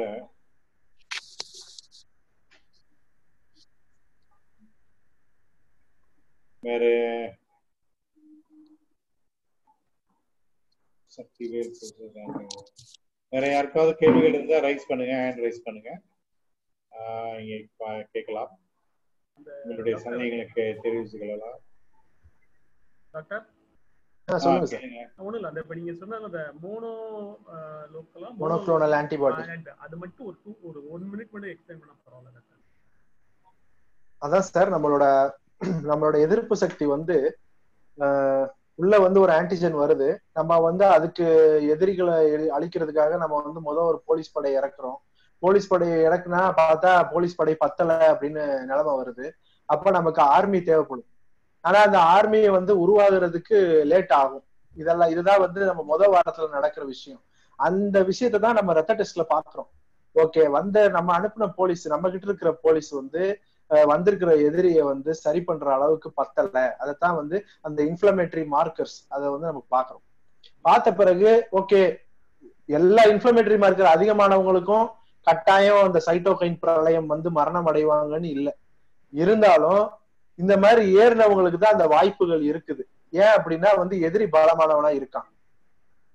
ரெண்டாவது வாரத்துல ரொம்ப கொடூரமான இன்ஃபெக்ஷனா அது மாறுறதுக்கு வாய்ப்பு இருக்கு. அப்படிங்கும்போது போது நம்ம வந்து என்ன செய்யலாம் அப்படின்னா இடைப்பட்டத்தனமா நம்ம வந்து ஒரு நம்மளோட ஆர்மியை வந்து வெளியில இருந்து அனுப்புற மாதிரி தான் இந்த மோனோக்ளோனல் ஆன்டிபாடிஸை நம்ம அனுப்புறோம். அதுதான் வந்து இந்த டொக்லிசுமாப் இட்டோலிசுமாப் அப்படிங்கிற வந்து ரெண்டு இன்ஜெக்ஷன்ஸ் அது வந்து அந்த மோனோக்ளோனல் ஆன்டிபாடிஸை வந்து நம்ம உடனடியா இந்த ஐஎல் சிக்ஸ் ஏறினதை பார்த்த உடனேயே நம்ம கொடுத்துட்டோம் அப்படின்னா அவன் இவங்க இந்த இந்த ஆன்டிபாடி போய் அந்த எதிரியை வீழ்த்திடுவான் வீழ்த்திட்டான்னா ரெண்டாவது வாரத்துல நடக்கிற அந்த பெரிய பிரச்சனையை வந்து நம்ம முன்னாடியே தடுத்துக்க முடியுது. இதுதான் இதோட விளக்கம். மீண்டும் ஒரு முறை நினைவூட்டுகிறோம் அதாவது புதுசா இங்க ஜாயின் பண்ணியிருக்கிறவங்க உங்களுடைய செல்போன் என்ன வாட்ஸ்அப் நம்பரை சாட்ல போடுங்க. நாளை அதுக்கு இந்த அடுத்த வாரம் நடக்கக்கூடிய நிகழ்வுகளை எல்லாம் உங்களுக்கு அனுப்புறதுக்கு வசதியா இருக்கும். அதிலும் பல்வேறு கருத்துக்கள் அறிஞர்கள் உரையாற்று உரையாற்ற இருக்கிறார்கள். அது உங்களுக்கு உதவிகரமா இருக்கும். அறிவியல் கருத்துக்களை மக்களிடம் கொண்டு செல்வதற்கு மிகவும் பயனுள்ளதாக இருக்கும். இப்போ வேற யாரும் கேள்வி இல்லைன்னு நினைக்கிறேன் டாக்டர்? திரு பாஸ்கர் நன்றி உரை. வணக்கம். இந்த கோவிட் நைன்டீன் குறித்த விழிப்புணர்வு தொடர் பத்தொன்பதில் பங்கேற்று அறிவியல் பாதையில் வெல்வோம் கொரோனாவை என்கிற மிக முக்கியத்துவம் வாய்ந்த தலைப்பில் மருத்துவத்துறை ரீதியான விளக்கங்களையும் மற்றும் மருத்துவ ஆராய்ச்சி துறை ரீதியான விளக்கங்களையும் சிறப்பாக எடுத்துரைத்து சிறப்புரை நல்கிய சிவகங்கை மாவட்டத்தை சார்ந்த அரசு பொதுநல மருத்துவர் டாக்டர் ஏபி பருக் அப்துல்லா அவர்களுக்கும் டாக்டர் டி வி வெங்கடேஸ்வரன் அவர்களுக்கும் இதில் பங்கேற்ற அனைத்து பங்கேற்பாளர்களுக்கும் விக்யான் பிரச்சார் அறிவியல் பலகை மற்றும் தமிழ்நாடு அறிவியல் தொழில்நுட்ப மையத்தின் சார்பாக நல் நன்றிகளை தெரிவிப்பதில் மகிழ்ச்சி. இந்த கருத்தரங்கில் டாக்டர் பருக் அப்துல்லா அவர்கள் முகக்கவசம் கை கவசம் சமூக இடைவெளி ஆகியவற்றை கடைபிடிக்க வேண்டியதன் அவசியத்தை மிகவும் வலியுறுத்தி பேசியுள்ளார். எனது சார்பாகவும் நான் எழுதிய சில விழிப்புணர்வு கொரோனா விழிப்புணர்வு வாசகங்களை அறிவியல் பலகை சார்பாக இங்கே பதிவிட ஆசைப்படுகிறேன். முகக்கவசம் நம்மையும் நம் வீட்டையும் நம் நாட்டையும் காக்கும். தும்மலோ இருமலோ துணை கவசம். கவசத்தின் துணை கொண்டு மூக்கையும் வாயையும் முழுசா மூடிக்கோ. உன் முன்பின் இருப்போருக்கு உன்னிடம் இருந்து நோய் தொற்றாம பார்த்துக்கோ. உனக்கும் பிறரிடம் இருந்து நோய் தொற்றாம உன்ன நீயும் கவனமா பாதுகாத்துக்கோ. சமூக இடைவெளி. இன்றைய சமூகத்திலிருந்து உங்களை விலக்கி வைப்பதற்கல்ல இந்த சமூக இடைவெளி. இன்றைய சமூகத்திலிருந்து உங்களை விலக்கி வைப்பதற்கல்ல இந்த சமூக இடைவெளி. இன்றைய சமூகத்தில் இருந்தும் நாளைய சமூகத்தில் இருந்தும் நீங்கள் விலகி விடாமல் உங்களை பாதுகாப்பதற்கே இந்த சமூக இடைவெளி. இன்றைய சமூகத்தில் இருந்தும் நாளைய சமூகத்தில் இருந்தும் நீங்கள் விலகி விடாமல் உங்களை பாதுகாப்பதற்கே இந்த சமூக இடைவெளி. பொல்லா கொரோனா நம்மை தொற்றாமல் தடுக்க ஓர் அறிவொளி அறிவியல் ஒளி. பொது இடங்களில் கட்டாயம் கடைபிடி போதிய சமூக இடைவெளி. கை கவசம் கை சுத்தம் கைகள் கொடுக்கும் நவ நாகரிக பழக்கத்தை தவிர்த்து கைகள் வணக்கம் செய்யும் நம் தமிழதம் நம் தமிழர்தம் பண்பாட்டை பழகு. கைகள் கொடுக்கும் நவ நாகரிக பழக்கத்தை தவிர்த்து கைகள் வணக்கம் செய்யும் நம் தமிழர்தம் பண்பாட்டை பழகு. கைகளின் பழக்கம் தொடர் தொடுதல். கைகளுக்கு சாத்தியமில்லை தொடாதிருத்தல். கைகள் தொடுவன கணக்கில் அடங்காதவை. கைகள் வழி நோய் தொற்று பரவலை தடுத்திட கை கவசமும் கை சுத்தமும் தலையாயவை. கை சுத்தம் இல்லாத கைகள் கொண்டு கண் மூக்கு வாய் தொடுதலை தவிர்ப்போம். கைகள் வழி கொரோனா தொற்று பரவலை தடுப்போம். விலை மதிப்பில்லா மனித உயிர்களை விஷ கொரோனாவிற்கு வீண் பலி கொடுத்திடும் விரயம் விபரீதம் தவிர்க்க முகக்கவசம் கை கவசம் அவசியம் அணிவோம் போதிய சமூக இடைவெளியை கடைபிடிப்போம் என்று கூறி டாக்டர் பரூக் அப்துல்லா அவர்களுக்கும் இதில் பங்கேற்ற அனைத்து பங்கேற்பாளர்களுக்கும் மீண்டும் ஒருமுறை விக்யான் பிரச்சார் அறிவியல் பலகை மற்றும் தமிழ்நாடு அறிவியல் தொழில்நுட்ப மையம் சார்பாக மிக்க நன்றிகளை தெரிவிப்பதில் மகிழ்ச்சி அடைகிறேன். நன்றி வணக்கம். நன்றி நன்றி sir. Thank you doctor thank you doctor thank you நன்றி, மச். பார்ட்டிசிபென்ட். எல்லாருக்கும் நன்றி. ரொம்ப அழகா பேசுனீங்க டாக்டர். தேங்க்யூ இது யூடியூப்லயும் நாங்க அப்லோட் பண்றோம். ஃபேஸ்புக்ல ஏற்கனவே லைவ் போயிட்டு இருந்தது நிறைய பேர் அதுலயும் கேள்வி கேட்டிருக்காங்க. முடிஞ்சா டாக்டர் நீங்க அதுலயே ஆன்சர் பண்ணிடுங்க. அந்த ஓகே சார் டைப் பண்ணி சார் நீங்க பண்ணிடுங்க thank you doctor. Thank you so நன்றி சார் நன்றி. நன்றி.